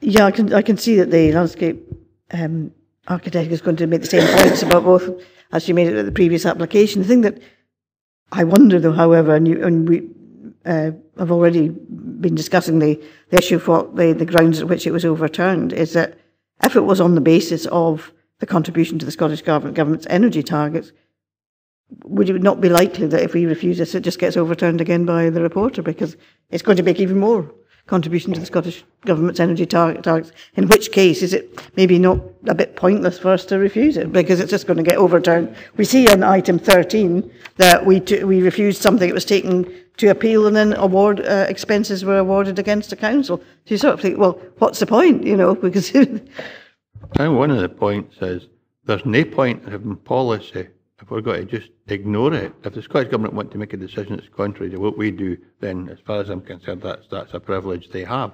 David? Yes, I mean, I, I think the, the key thing is that the reporter accepted it was a finely balanced decision the first time round, and therefore, by making it, you know, in the, in the words of the landscape architect, increase in height would worsen the significant adverse effects anticipated by the consented proposals. So if something is going to make it worse, then the advice of the Scottish Government themselves is that it shouldn't be renewable energy at any cost. It's going to be the right development in the right place. If this is making it more intrusive, then the argument that certain landscape architects putting forward is that we shouldn't be supporting that. So, sorry, can I just, um, Chair? sorry, sorry. Um, can I just um, follow up on, on, on something that, um, that David has said? There have been um, subsequent appeal decisions where um, reporters have looked at uh, the contribution of development towards um, the, the renewable energy targets. There, there, there have been changes to policy nationally, and I have included it in, in the report um, in the other matters, page 147, um, with that, um, and I've, I've kind of given my own sort of view um, on that. But I think, um, you know, even if the change in national policy does, you know, represent a change in the need for renewable energy development, does it really follow that the demand must be met by development that would otherwise be refused planning permission? Um, I just thought I would add that in, just as a an aside to, to. Thanks for that, Chris. I've got Jane and then Andrew Giusti. Jane? Uh, th- Thank you. Um, uh, Mr Sutty's made my first point, which was that the reporter um, came from this on an on balance, very much an on balance um, decision. Um, and um, I think we've got to remember that we're dealing with physical planning here. Uh, we're talking about increasing the hub height by um, uh, 10 metres. And uh, my feeling um, with respect to um, what uh, the statutory consultees said is that nobody's actually said, goodness me, what we really, really want and looking forward to having is another 10 metres high. Um, nobody said that. They haven't said that. They, they, they've said that they're happy with the reporter's uh, decision on the previous um, planning application. And, um, and of course, that still remains extant. There is no change to that. That simply remains. So, what the, uh, the developer is looking for is belt and braces here, um, and very understandably so. But um, it really won't make a great deal of difference. Um, and I think that we should be consistent. And in the past, we said it wasn't suitable um, for um, landscape reasons, and I see no reason whatsoever to deviate from that. Um, so I'm perfectly happy, um, if I'm allowed to at this point, to. We're not in session, Jane. My, We're not in my apologies. Andrew? Thanks, Chair. I was just surprised, Chair, because having been to both Kirkcolm and Stranraer Community Councils, they were, they both have an agreement that they were going to write in support for this as well. So I was just asking about that. Did they miss the target or have they been in contact at all because they've not been reported? Chris? Um, if, if they're not listed, then they didn't get back in touch. I mean, as a statutory consultee, I know um, when we take comments, we normally have a, a cut-off date, but because they're, they're statutory consultees, we would basically allow them, you know, as much time as they needed to make a to make a comment. It's that tends to be how I, how I view that one. It's still questions for officers. Andy and John. Um, thanks. Just for clarity, so the comments are Cairnryan Community Council, Stonykirk Community Council, um, and everyone else there on this application. Am I right? Chris? John? Uh, Thank you, Chair. I just wonder why the phrase significant adverse cumulative impact was used in the recommended decision text for this development, but in the previous development, I mean, this development has eight turbines at 110 metres, the previous one had 30 turbines at almost 150 metres, yet we never had a phrase like that used with the previous one. So why have you decided upon that phrase for this one? It may be individual officers phrase rep- recommendations or, or the reports differently, but uh, David or Chris, can you help? Um, it's, I suppose it's, it's the view that I took and the, the landscape architect as well. It's, it's in cumulation with the existing North Rhins um, wind farm, which is located just to the, to the southeast of, of this one, so taken together. So that, If there are no more questions for the case officer, it's not a speaking item, therefore now in session. Jane Maitland and then David McKee. Um, Thank you for coming back to me, Chairman. Yes, uh, um, if I could simply continue to say that I think we should go with the recommendation in order to be consistent. So I'm happy to propose that. Thanks, Jane. David McKee. Hi, thanks, Chair. Given we've had these in the past, it's, it's more or less a, an appeal against the reporter's decision. Eh, we've referred them back to the reporter before, and I think we should do the same again. I, I'd agree with Jane. So are you seconding Jane's motion? Andrew and Andy. Thank you, Chair. Well, the way I see it, this is a new committee with a new outlook. Um, and I would be happy to approve this because I actually disagree with the landscape architect. The way the Rhins is actually, the, if you look at the actual hills and that, this is pretty much, you're not going to see it. We saw it on the ZTV. The actual, the, the actual visuals of it, you'll not see it from, you'll only see it from very few points, or if you're coming from Ireland. So I disagree with the, the landscape ar- architect's objection. Also, it's one of the few times when I've not seen an objection from anyone to a wind turbine. And we're all about local democracy. So I would say that we should we, we should push this through, um, subject to the conditions, and um, I would put it through as, what's the word? Contrary to policy. Right, and it's not to do with di- contradicting a landscape architect because that's a professional opinion. Yours might vary for that, but uh, so we'll get the language right in a minute. Andy? Well, I was actually going to suggest that it, um, the contribution to the energy targets and economic benefits outweigh the concerns about visual impact. So we should uh, award. Is that a counter amendment or is Andrew happy to endorse that one? I'm happy to endorse that if it's competent. Good question. Uh, did somebody take note of what Andy said there to see if it is a competent amendment to the motion? Well, that, I mean, that, that's, I would say that's fine because you're talking about it's the larger turbines are going to make a, a greater contribution. And, yeah, yeah. Right, Ivor? Chair, Chris mentioned something about, was it condition, the new proposed condition 26 was imprecise, although it's eight pages. Are we, now, this seems to be sort of resolving round whether it's 100 metres, 110 metres. Now, from a mile, I don't think I could tell you which was 110, which was 100. But what's the effect of agreeing this? Are we actually agreeing the new conditions as well? Because they might not actually reflect what we, we believe was going to be put in place with the old conditions, and they might, as Chris said, uh, be imprecise. So should we actually just have a wee bit more from maybe Councillor Trusty, what the actual uh, impact of having these new conditions are? Because I think under the old conditions, I might have accepted the extra 10 metres, but what does this new conditions actually mean?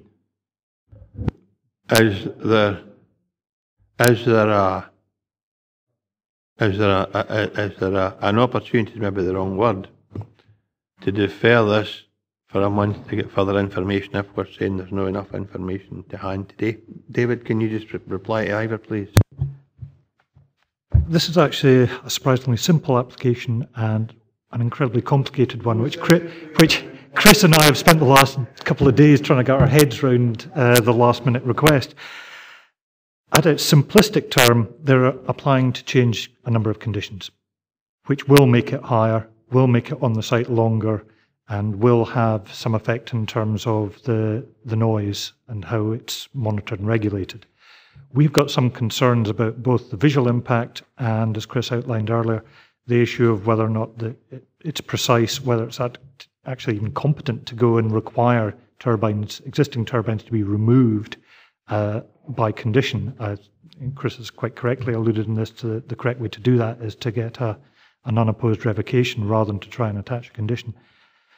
The the one issue which is still floating out there, and I must confess I'm wrestling a little bit with it as to how to correctly approach it, is the the applicant has come back and said, we think you can deal with this just with condition one, as a to use the horrible phrase, the backstop position, that if you're going to be if you're going to refuse us, please just grant us um, another permission for an extra five years. So just look at condition one, forget the rest. Now, I find that really difficult because they've applied for, Chris counted it, was it 102 word description? It's a long description up there. And we've looked at it as an entity. I recognize that in law you can, under a Section 42 application, take certain conditions which have been requested and amend them, and, but not others. The clear advice that I've gone back to the primary legislation that says if the council um, decide that planning permission should be granted subject to the same conditions as those subject to those which previous planning permission was granted, they shall refuse the application. So in that case, that's why we think you should be refusing it as an entity.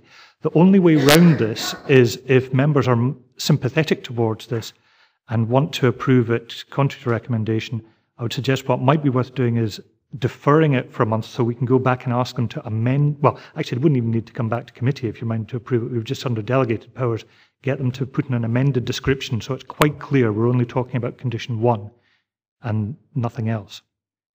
Um, but it, it, it's it's an incredibly complicated situation, I'm afraid. I do Have you apologise. got that request in writing, David, that uh, under certain circumstances they would accept only condition one? No, but that is basically what they are asking us to do by email. They've emailed, yeah, they, they have put it in. What they haven't done is said that they're prepared to amend the description, which I would feel far more comfortable if they were doing that, because otherwise we are going to have to, as a planning authority, amend their application. It is their application, not ours. In terms of the description, I- I'm I'm uncomfortable about doing that. Ivor? So we take it the other way. If we actually refuse this, we're just about saying this isn't going to go ahead because the plan application will fall because of time lapse. Exactly. The- It runs out, when is it, Chris, next summer? October next year, yeah. But they could come back, David, with another application for simply a, a condition one. Indeed, the, I mean, if they'd actually applied for that, we would simply strike condition one because, as Chris explained earlier, it's not a condition which we would have attached, uh, with all due respect to the reporter who did attach it. Uh, it's not in legislation now. You're, you're supposed to just have it by a, a directive. So I don't personally have an issue with the, the, what was approved on appeal being allowed for another five years. It is, as we know, it's a, it's a fee dodge. Um, basically, this is a £202 fee. If you put a whole renewal application, it's, the fee would be £125,000. So, members, without becoming too complicated, we can either go with a vote, which is uh, to approve or, or to refuse, and we've still to get the wording from An- this Andy now, or we can defer it for a month to see what the applicant says and have David bring back a response. Sorry, Chair, if, if the committee are minded to refuse the application, if you want to approve it, then that's fine. We just issue, we vary all the conditions as they've requested, uh, and that's, they get a whole new permission. If members are minded to refuse it, really what the applica- applicant is saying is, please don't just refuse it, uh, can you not just renew it and give us an extra period of time? Uh, now, it is also in your gift to say, well, no, actually, we're not willing to have it for any longer. We're willing to just refuse it full stop, which is what we'd originally recommended. So, Member David McKee, With all due respect, they got permission from the reporter. and now, because they're not happy with the reporter's decision, they've come back for us to overturn it. And the person to withdraw a number of. amend it. Amend it, okay, sorry, amend it. Now, with all due respect to the members here, I think they went to the reporter before because we refused it. Let them go back to the reporter again and see if he'll amend it for them.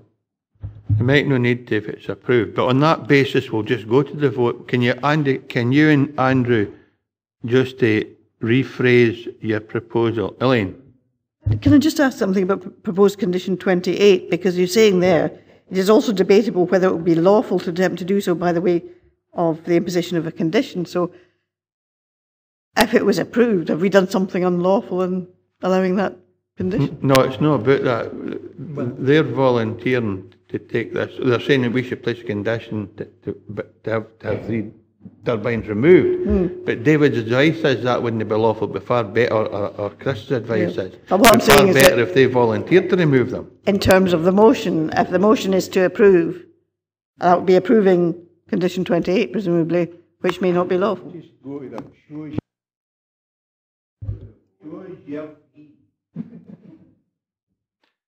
Right. So- So, so I suppose there is an issue about that because we can't have members making a decision that might be unlawful. So in terms of condition 28, David, what do we do? Well, obviously, you, you've got the, um, the amendment before you, which is to just approve it, but we do have some concerns about whether or not it is lawful to do that, because really the only way to revoke a permission is to go through the revocation process, we would suggest an unopposed revocation in this instance would be the, the correct way because if you do a, an opposed revocation, then the council actually has to pay compensation. Thankfully, it doesn't appear that would be the case here, but to have a condition requiring an, a lawful turbine to be removed, I don't think is particularly competent. So I, I would be uncomfortable about having that attached, but um, obviously that's maybe something for the courts to decide whether or not it is lawful or not. But I think all I think we said in the report was it's debatable whether it's lawful. It's not absolutely cast iron illegal. So now the members that are supporting the amendment have a dilemma. If it's no lawful, you may be placing the council in an unlawful or, or, or a serious position. If it helps, I don't think there's an awful lot of risk to the council by virtue of the fact that, correct me if I'm wrong, Chris, but do they not have control of those? So they can actually require their removal?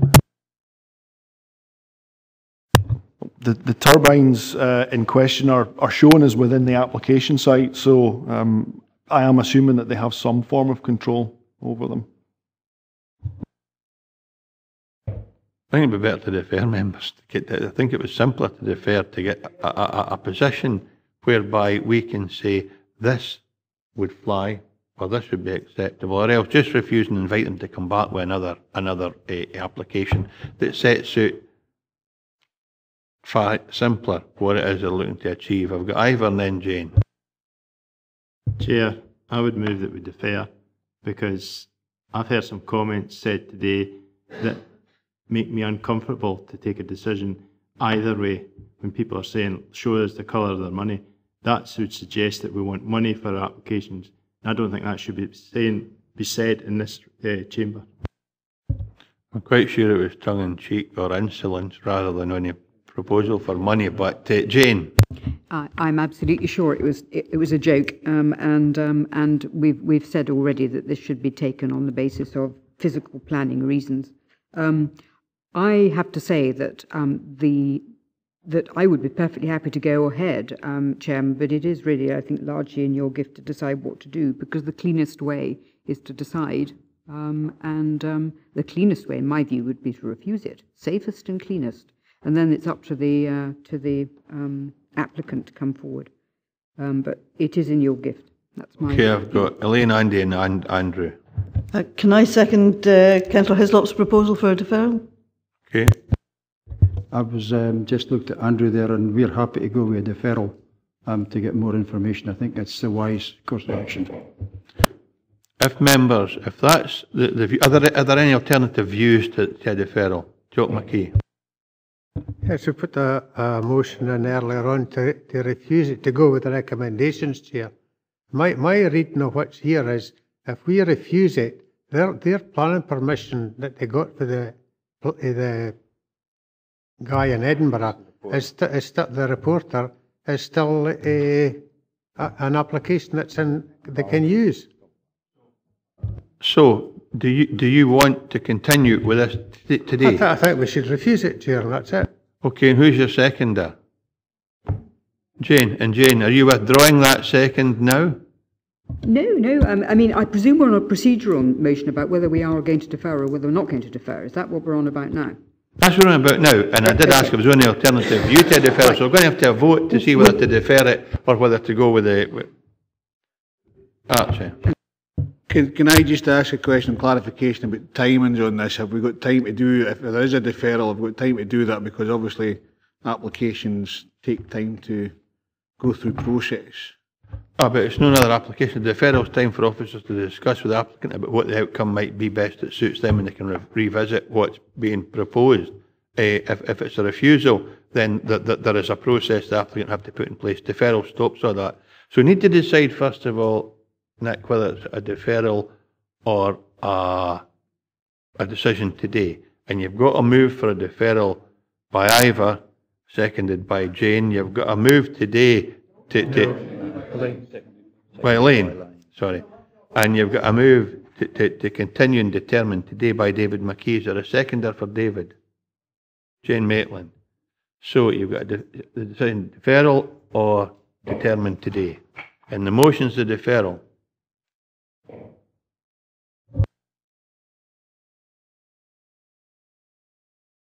Carry on, Okay. Nick, please.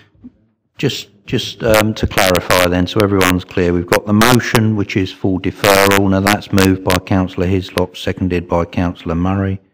And we've got the, um, the amendment or counter proposal proposed by councillor McKee and seconded by councillor Maitland, um, that we have enough information to determine the application today. So, Happy to move, Nick. So councillor Dempster? Motion. Councillor John Campbell? Motion. Councillor Blake? Motion.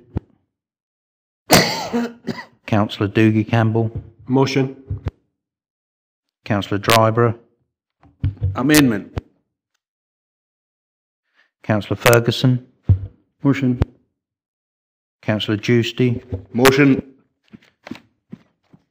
Councillor Hyslop? Councillor Le- Councillor Lever? Motion. Councillor Maitland? Amendment. Councillor Martin? Councillor McKee? Amendment. Councillor Murray? Motion. Councillor Tait?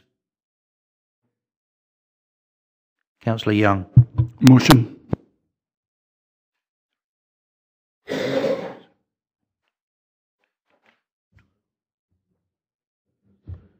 Okay, so vote, vote, we have 12 members voting in favour of the motion and three in favour of the amendment. Therefore, the motion is carried and the application is deferred. And next month, Chris will bring a definitive view from the applicant as to what they want us to determine. No, no, no, no, what I'm saying, no. It'll be on the table for members to decide. Eh, that application will still be live or an alternative that Chris and the applicant have discussed within the next few weeks. Come to next month's meeting, hopefully. Right, okay. Oh, thanks, Chris. So I take it that'll then also include a view whether our motion was uh, legally enforceable or not. Run this past again. Oh, you're talking about section, uh, uh, condition 28? Yes, the information will come back with that as well. Thanks, Andy. Aye, okay. Amy, ca- can you see if uh, Councillor Nicholl wants to join us? He wants to speak at this next agenda item and he might want to watch the proceedings.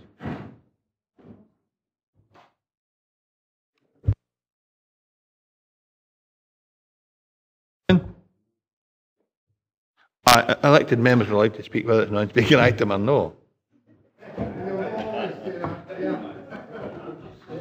Anyway. You get five minutes. Just a three. Aye. It's not, it's not, a- it's not a a major application, is it? No, it's the, aye, behavioural, John. We, good, good. We move on to agenda item 12, formation of hard standing and change of use of land for siting of six caravans for accommodation for agricultural workers and installation of shared septic tank and soak away its retrospective at Billies Farm, Kelton, Castle Douglas. Full application, premise numbers 18 stroke 1246 stroke full. The recommendation is to refuse and talking us through this is Pat Hanna on behalf of Judith, who's no with us today. So Pat, when you're ready, will you take us through this uh, application, please? Chair, Chair, could I make a quick declaration, please? Sure thing, do you? Uh, I was contacted by the applicant yesterday, um, who wished to speak to me regarding the application. I did not express any opinion or view, so I can continue to participate in the debate. Thanks, Dougie. A- Amy, can you close the curtains again, please? And whenever you're ready, Pat, thank you. Thank you, Chair.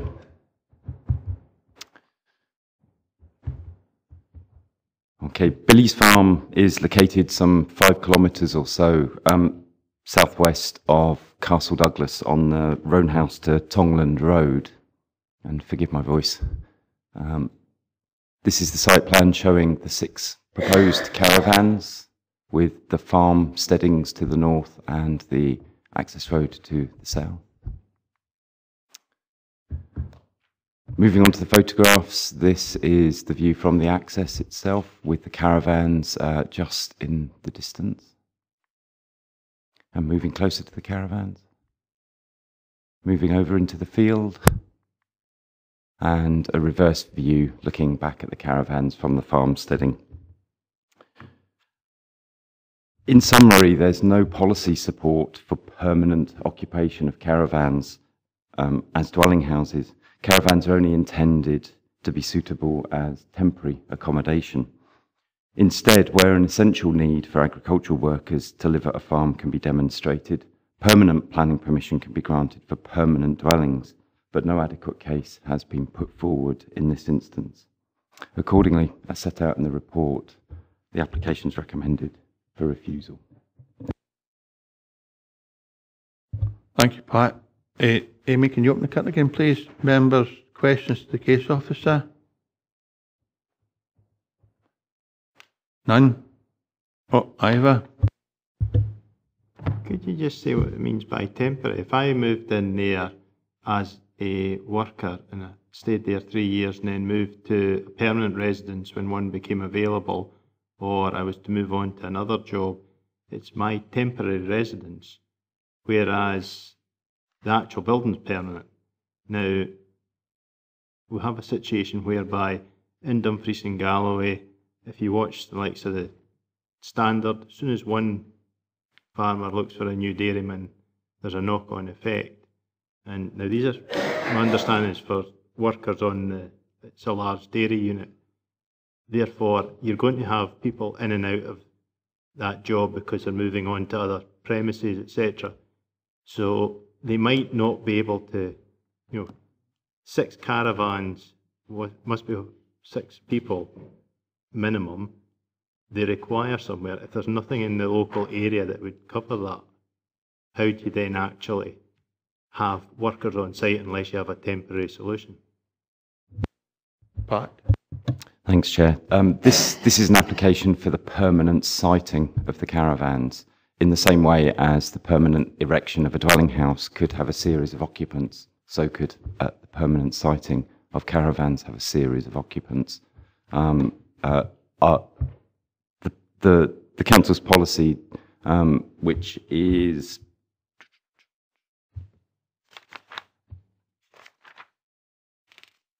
uh, policy H7 on temporary residential development, uh, um, explicitly states that uh, the council will not normally support proposals for the development of caravans to houses.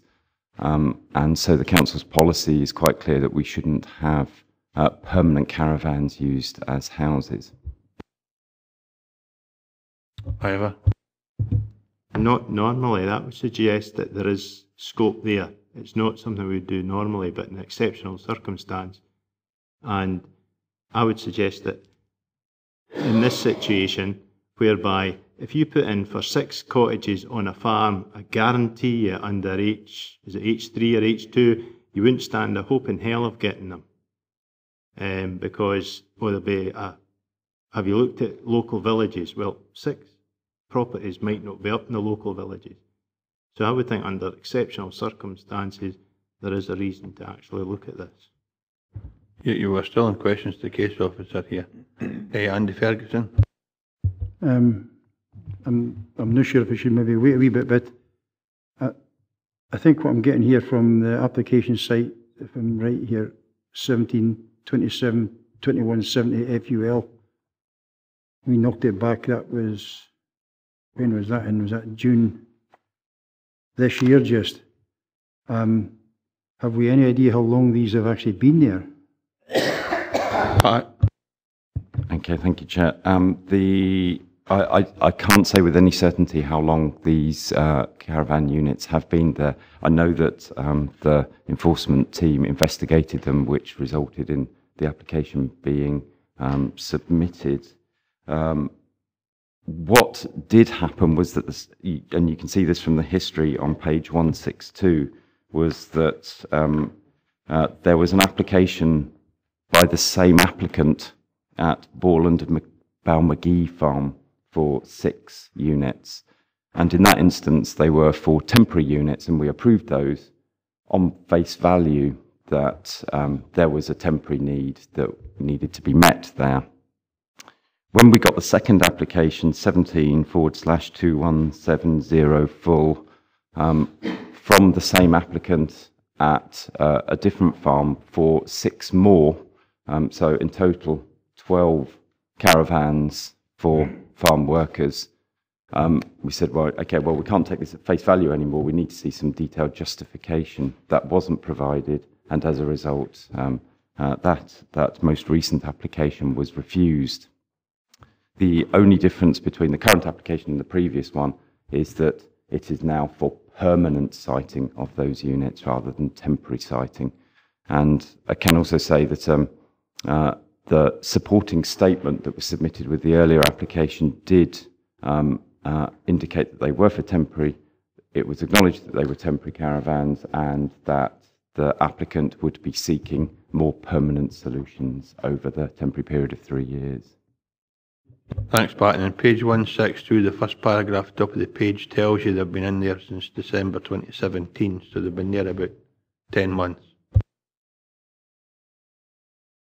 Yes, Andy. Um, thanks. Have you any idea how many, uh, uh, is there one per caravan?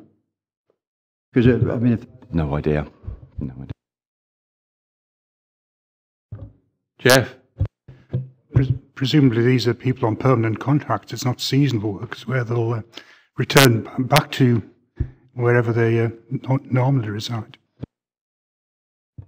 Um, well, if seasonal caravans were required, then planning permission wouldn't be needed for those. Uh, there are permitted development rights uh, available for farms uh, that allow siting of caravans for seasonal work. Uh, this is for permanent siting, um, so they would be permanently occupied. Any other questions for the case officer? Elaine? Just really as a matter of interest, the um, application which for the for the other farm at Moorland of Balmaghie uh, was granted conditionally on the 5th of July. And what was the condition? Was the condition that uh, they sought permanent accommodation? Pat? Thanks, Chair. It was just purely to limit the permission to 36 months. Okay, Andrew? Thanks, Chair. One of the things that I've read on page 163 was a letter from the NFU, which um, states about a lot of young um, folk in the dairy sector who don't have a, they don't have the means to drive there. So perhaps they've got a permanent residence at home with mum and dad, but they because they've got no means of transport, they actually need something like this year round to do their work during the week. So, uh, so if what's the what I'm getting at here is the fact that we're saying that it would be all right to do temporary seasonal caravans. So why why is this kind of something different when it's a little bit like a caravan park?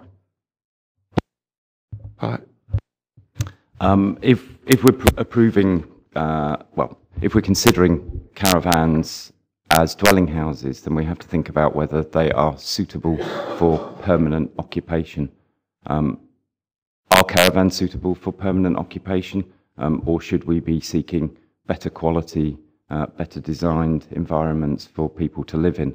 Um, the applicant has stated, you, you made reference to, to the report, that um, uh, that many of the, the workers here can't drive. Um, I, I would counter that and, and state in the report that um, uh, from a planning perspective, it's inappropriate to site workers um, uh, where they are remote from any settlements, services, facilities, shops, and so on. Um, there are plenty of organisations that uh, uh, pick up vehicles or use vehicles to pick up employees to work on a, a facility. Um, it's not necessary to have uh, someone working or living on the site in order to work there. There is a risk as well if you write a new council policy, if you can't drive, you get building up in a caravan where you like. Dumfries and Galloway be in some state, I would imagine. John Martin? And on these caravans got main services into them. Are they mainly serviced, Pat? I can see gas there.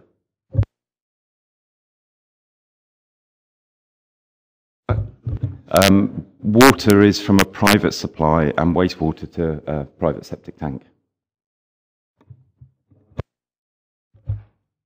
Electricity, presumably by generator or some other means. Eh, John Young? Uh, Thank you. If this application was refused, would it refer back to the temporary accommodation and when would that temporary accommodation finish? Temporary accommodation is a different location. The, the farm unit has been split into two. That's why I think this application's here. Pat? The application is for permanent siting. If it was refused, then um, the implication on that would be that the caravans would need to be removed or a further application would need to be submitted for temporary accommodation along with justification as to why that was necessary. Uh, Ivor? Chair, if we don't, or our policy says we don't allow uh, caravans as permanent residences, why do we allow it as permanent residences on caravan parks? Because I can think of two, well, one used to be in my ward, I think it's maybe moved out, uh, but definitely one in my ward where there are people who stay year round as their main residence in a caravan. And I can think of one, I think it's Kirkpatrick Fleming, when I was down leafleting during an election once, and there were some lovely caravans there, two stuck together, but they are caravans. And we allow that, so as permanent residences. So, what is the policy? David? The ones you're referring to actually have a long-standing historical permission, which is unrestricted. So in terms of, they require a site license from environmental health, but in planning terms, we can't control that. Going forward, any new proposals that come in that require planning permission, the council's policy is that they, they won't be for permanent uh, residences. Exactly for the reason Pat was saying, because really they're, they're not the quality of design and um, and frankly habitable nature that you would wish to promote within uh, the area. If there are no other questions for the case officer, we have a elected member Graham Nichol looking to address the committee. Graham, usual procedure, I'm sure you're well aware of it, three minutes. I will remind you with 30 seconds to go eh, to draw your presentation to a conclusion. And if you'd vacate the chamber after your presentation, I'm sure you'll be grateful. Just whenever you're ready, Graham. Thank you. Chair, I heard you threatening a previous member who spoke with the toys, and I've no desire to get that, so I will leave immediately after, if there are no questions from members. Anyway, thank you, Chair. Um, the Wilson family farm uh, extensively in acreage terms, but they also farm very intensively in policy terms. And they are milking 2,500 cows and have the subsequent followers that, that come out of those cows to, to, to feed and to have on their farm. They milk three times a day, um, which is certainly in my day it was unusual, but it's certainly more, maybe more common now. They milk at eight in the evening, four in the morning, and midday. Um, so it's a 24 hour operation that they have. Um, they employ 35 full time employees. Uh, they have seven houses on the farm, but they're all occupied by farm workers, senior senior workers on the on the the, the, the, the payroll. Um, all these farm workers are trained by the applicant, and they're inclined to stay reasonably long time. Um, there have been no objections from statutory consultees or the neighbours, um, and I think that there is a justifiable need for the, these properties, these houses to be there. Um, they've been properly set up with parking arrangements, uh, drainage to a septic tank system, and private water supply. So that you know that they're, they're properly set up.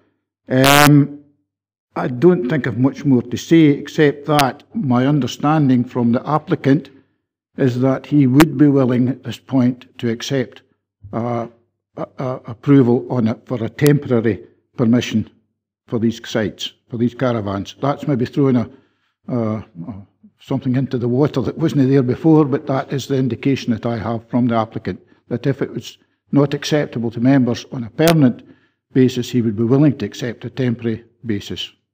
Um, and I have no other comments to make, Chair. The applicant, of course, can't speak, but what would the basis of the temporary measure be? Would it be to allow him to find alternative accommodation elsewhere, or would it just be simply to delay matters until a future date?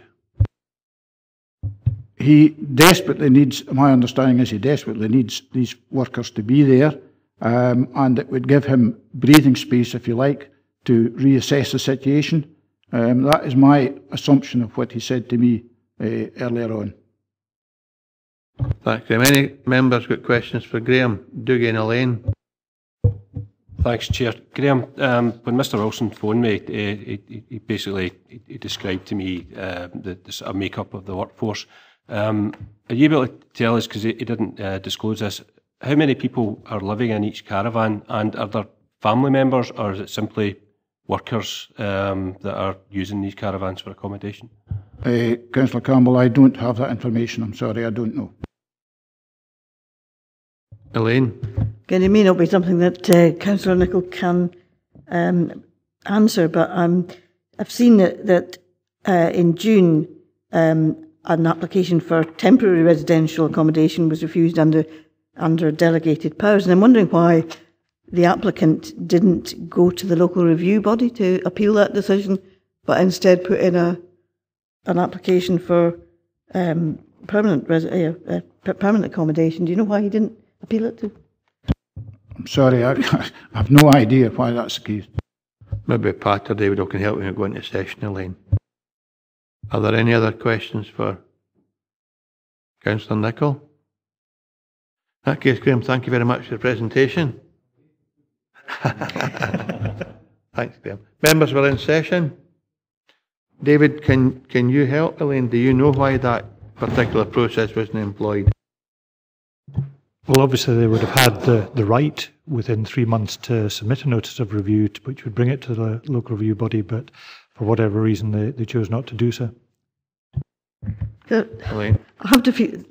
I just feel a little bit suspicious about how this is panning out. So he has a an application uh, ref, for temporary accommodation refused. He doesn't appeal it. Instead, he puts in another one. It gets called into us, and then he can appeal it to the Scottish Reporter, thereby protracting the whole uh, process so that the caravans can can stay on site. Would I am I being unduly cynical? Do you think? Uh, an observation or a question? I suppose it's really an observation. We're still in session. Members, Archie?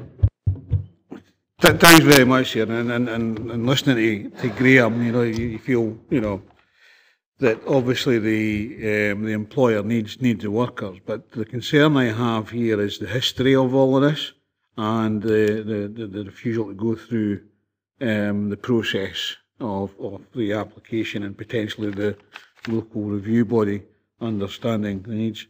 So, um, unfortunately, on this occasion, I would have to say that we go with the recommendations, Chair, um, because that would be the safest way to do things. Ian Blake? Can I just uh, check with David? Uh, Councillor Nicholl mentioned the fact that the the, uh, the applicant would be prepared to accept a temporary position. Uh, where is it? Is it? Is it? Uh, sorry, temporary application. Excuse me. Uh, we today, just to confirm, today we're looking at the application that's before us, not a temporary one. It's, it's the permanent one. Uh, Can we, in fact, amend that? I, I wouldn't think so, David. Well, that was the very issue that was going through my mind when Councillor Nicola raised that, because if you look at paragraph 1.3 in the report, the agent has confirmed on the application form and by further email that the application is not for temporary permission, but instead seeks permanent planning permission. It's not been put in the actual description, if you look, but the fact they've put it on the form indicates that is what they're really seeking. I've been inclined to say, uh, as the chair's just said, that that's what's before you. It's a permanent application. If he is minded to amend the application and it's temporary, then I think that actually needs to be explicit and with a further separate application. It'd be allowed. Persuasion, I mean- Elaine? But a, a, an application for temporary accommodation has already been refused as recently as June under delegated powers. So we wouldn't really just be able to overturn that by condition, surely. David?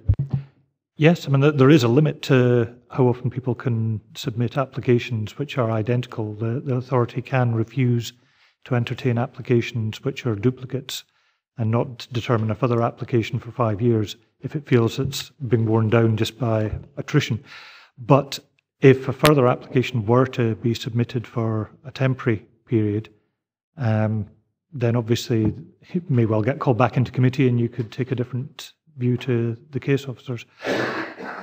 Uh, what you could obviously do is, in the same way as we talked about earlier um, with the, the one at Mouswald, was uh, any further application should come to committee. So you're effectively withdrawing delegation. So if a temporary application comes in, it would automatically come to yourselves. And that would allow you to consider that one, which would uh, prevent the need for it being refused under delegated powers, going to the LRB, etc. I'll get Dougie Campbell, Ian Blake, and Ivor. Thanks, Chair. Um, just setting aside the, the debate about uh, approval for um, temporary um, sighting of the, the caravans, I'm feeling really quite conflicted here because, um, the, uh, you know, mindful of the potential economic impact, a lot of people working um, on the farm using the caravans, impact it has on the, the business. But, um, you know, my understanding is that these workers are working 55 hours a week. That's what I was told. Um, milking's taking, three taking place three times a day. Um, it's not clear how many people are actually occupying the, the, the caravans, but just to sort of go back to something Pat said, that caravans couldn't be considered to be permanent homes. Are we allowed, is it competent for us to consider the, the conditions under which these workers are living um, in that particular context? David? In terms of land use planning, all we're really looking at is the siting and the quality and the design of what's there. The internal arrangements of it is not something we can consider, but obviously, as Pat alluded to uh, earlier, I think the uh, paragraph 4.6, where it says clearly inappropriate from a planning perspective to site workers who cannot drive in a location where they have no access to services facilities or shops. So that bit is a material consideration. The internal arrangements within the caravans themselves we couldn't look at. Ian Blake and then Ivor. Thanks for letting me back in, Chairman. It, the, if we were minded to refuse the application uh, with whether it could be an encouragement for the applicant to consider a further application for, for a temporary period, it's, it's under 418 that I've got a real concern that if the Planning Applications Committee agrees to refuse it, enforcement action will be pursued. Now, in this particular case, that would have significant implications on a, a very busy business. Uh, and it's whether or not that, that could that element of it can be set back just now in case there is a further application, even for a temporary period. David? As most members will be aware, enforcement is not a quick process. You've got to serve a 272 notice first to establish the land ownership. You've then got to serve a notice. of a 28 day lead in period before it bites. Within that period, it can be appealed to the Scottish ministers. And then there's the compliance period. So we would normally, at a very minimum, require a three month period uh, for something to take place. So on this sort of case where you've got a lot of um, works and you don't want to make people homeless, we would probably give a far longer period anyway, which, as I say, they would have a right of appeal to the Scottish ministers, which would also drag it out. So the chances are, um, with the best will in the world, even if you wanted those off the site tomorrow, the right of appeal would mean that you're probably talking about a year or so before they're to be removed anyway. Ivor? Yeah, that sort of answered the question I was going to ask because if you're going in there with the 28 days and 28 days, and then there's a way that would have a drastic effect on the actual farm, whereby people weren't there to actually do their jobs, uh, and that would cause me concern. Um, I'm reassured slightly that we are going to be uh, more considerate, because you're not going to solve this problem in two or three weeks. So um, we'll wait and see if another application comes in, maybe. John Martin. Thanks, Chair. Council, this council driver up proposed, proposed that we go with the officer's recommendation. I'll just second that because I think we're just getting bogged down here between permanent, temporary, and seem to be going around in circles. Okay. Any alternative proposals? I take it, if there's no, that's unanimous, but I take it, would members want a note that a future application comes before members? There's obviously a degree of sympathy toward the applicant and indeed toward the employees. And there's a clear signal that, uh, I think, from what, what we see here is not what we want as a, as a final uh, outcome, as a group of static caravans. So I think in there somewhere, there's a message to the applicant, an opportunity to come back. And if members want, we can see what's being proposed and what's being asked for. Archie? Yeah, I'm, I'm, I'm happy with that, but I mean, I think we've got to give officers a rightful place here, and under delegated powers that could be done. So, I mean, if the officer feels that there is something issue there, they can bring it back themselves, but delegated powers is where this should be, if it's in a temporary basis. On, on the basis that you understand what the outcome may be for, for, for staff and, uh, and the applicant. David? The question was asked about the standard of accommodation as well. Do the housing officers have any input into being able to go and check what sort of accommodation they're getting? No, I realise it's not a planning application, I appreciate that, but there's more to this application than just a planning application, if you didn't mind. But, but our, our duty is simply to determine the application and that's nothing to do with what standard of living accommodation is. So that's a decision of members at delegated authority, to officers, and it's refused. Nick, can you confirm the decision of the committee, please? Uh, yes, Chair, the decision is to refuse the application as set out in the report. Come to agenda item 13, which is for noting and information. Members will note the outcome and note the impact on the council of that decision. Content with that? Noted. Thank you. And I have no other business. Thank you very much for your attendance today, ladies and gentlemen. Thank you. I've got a question for you, David.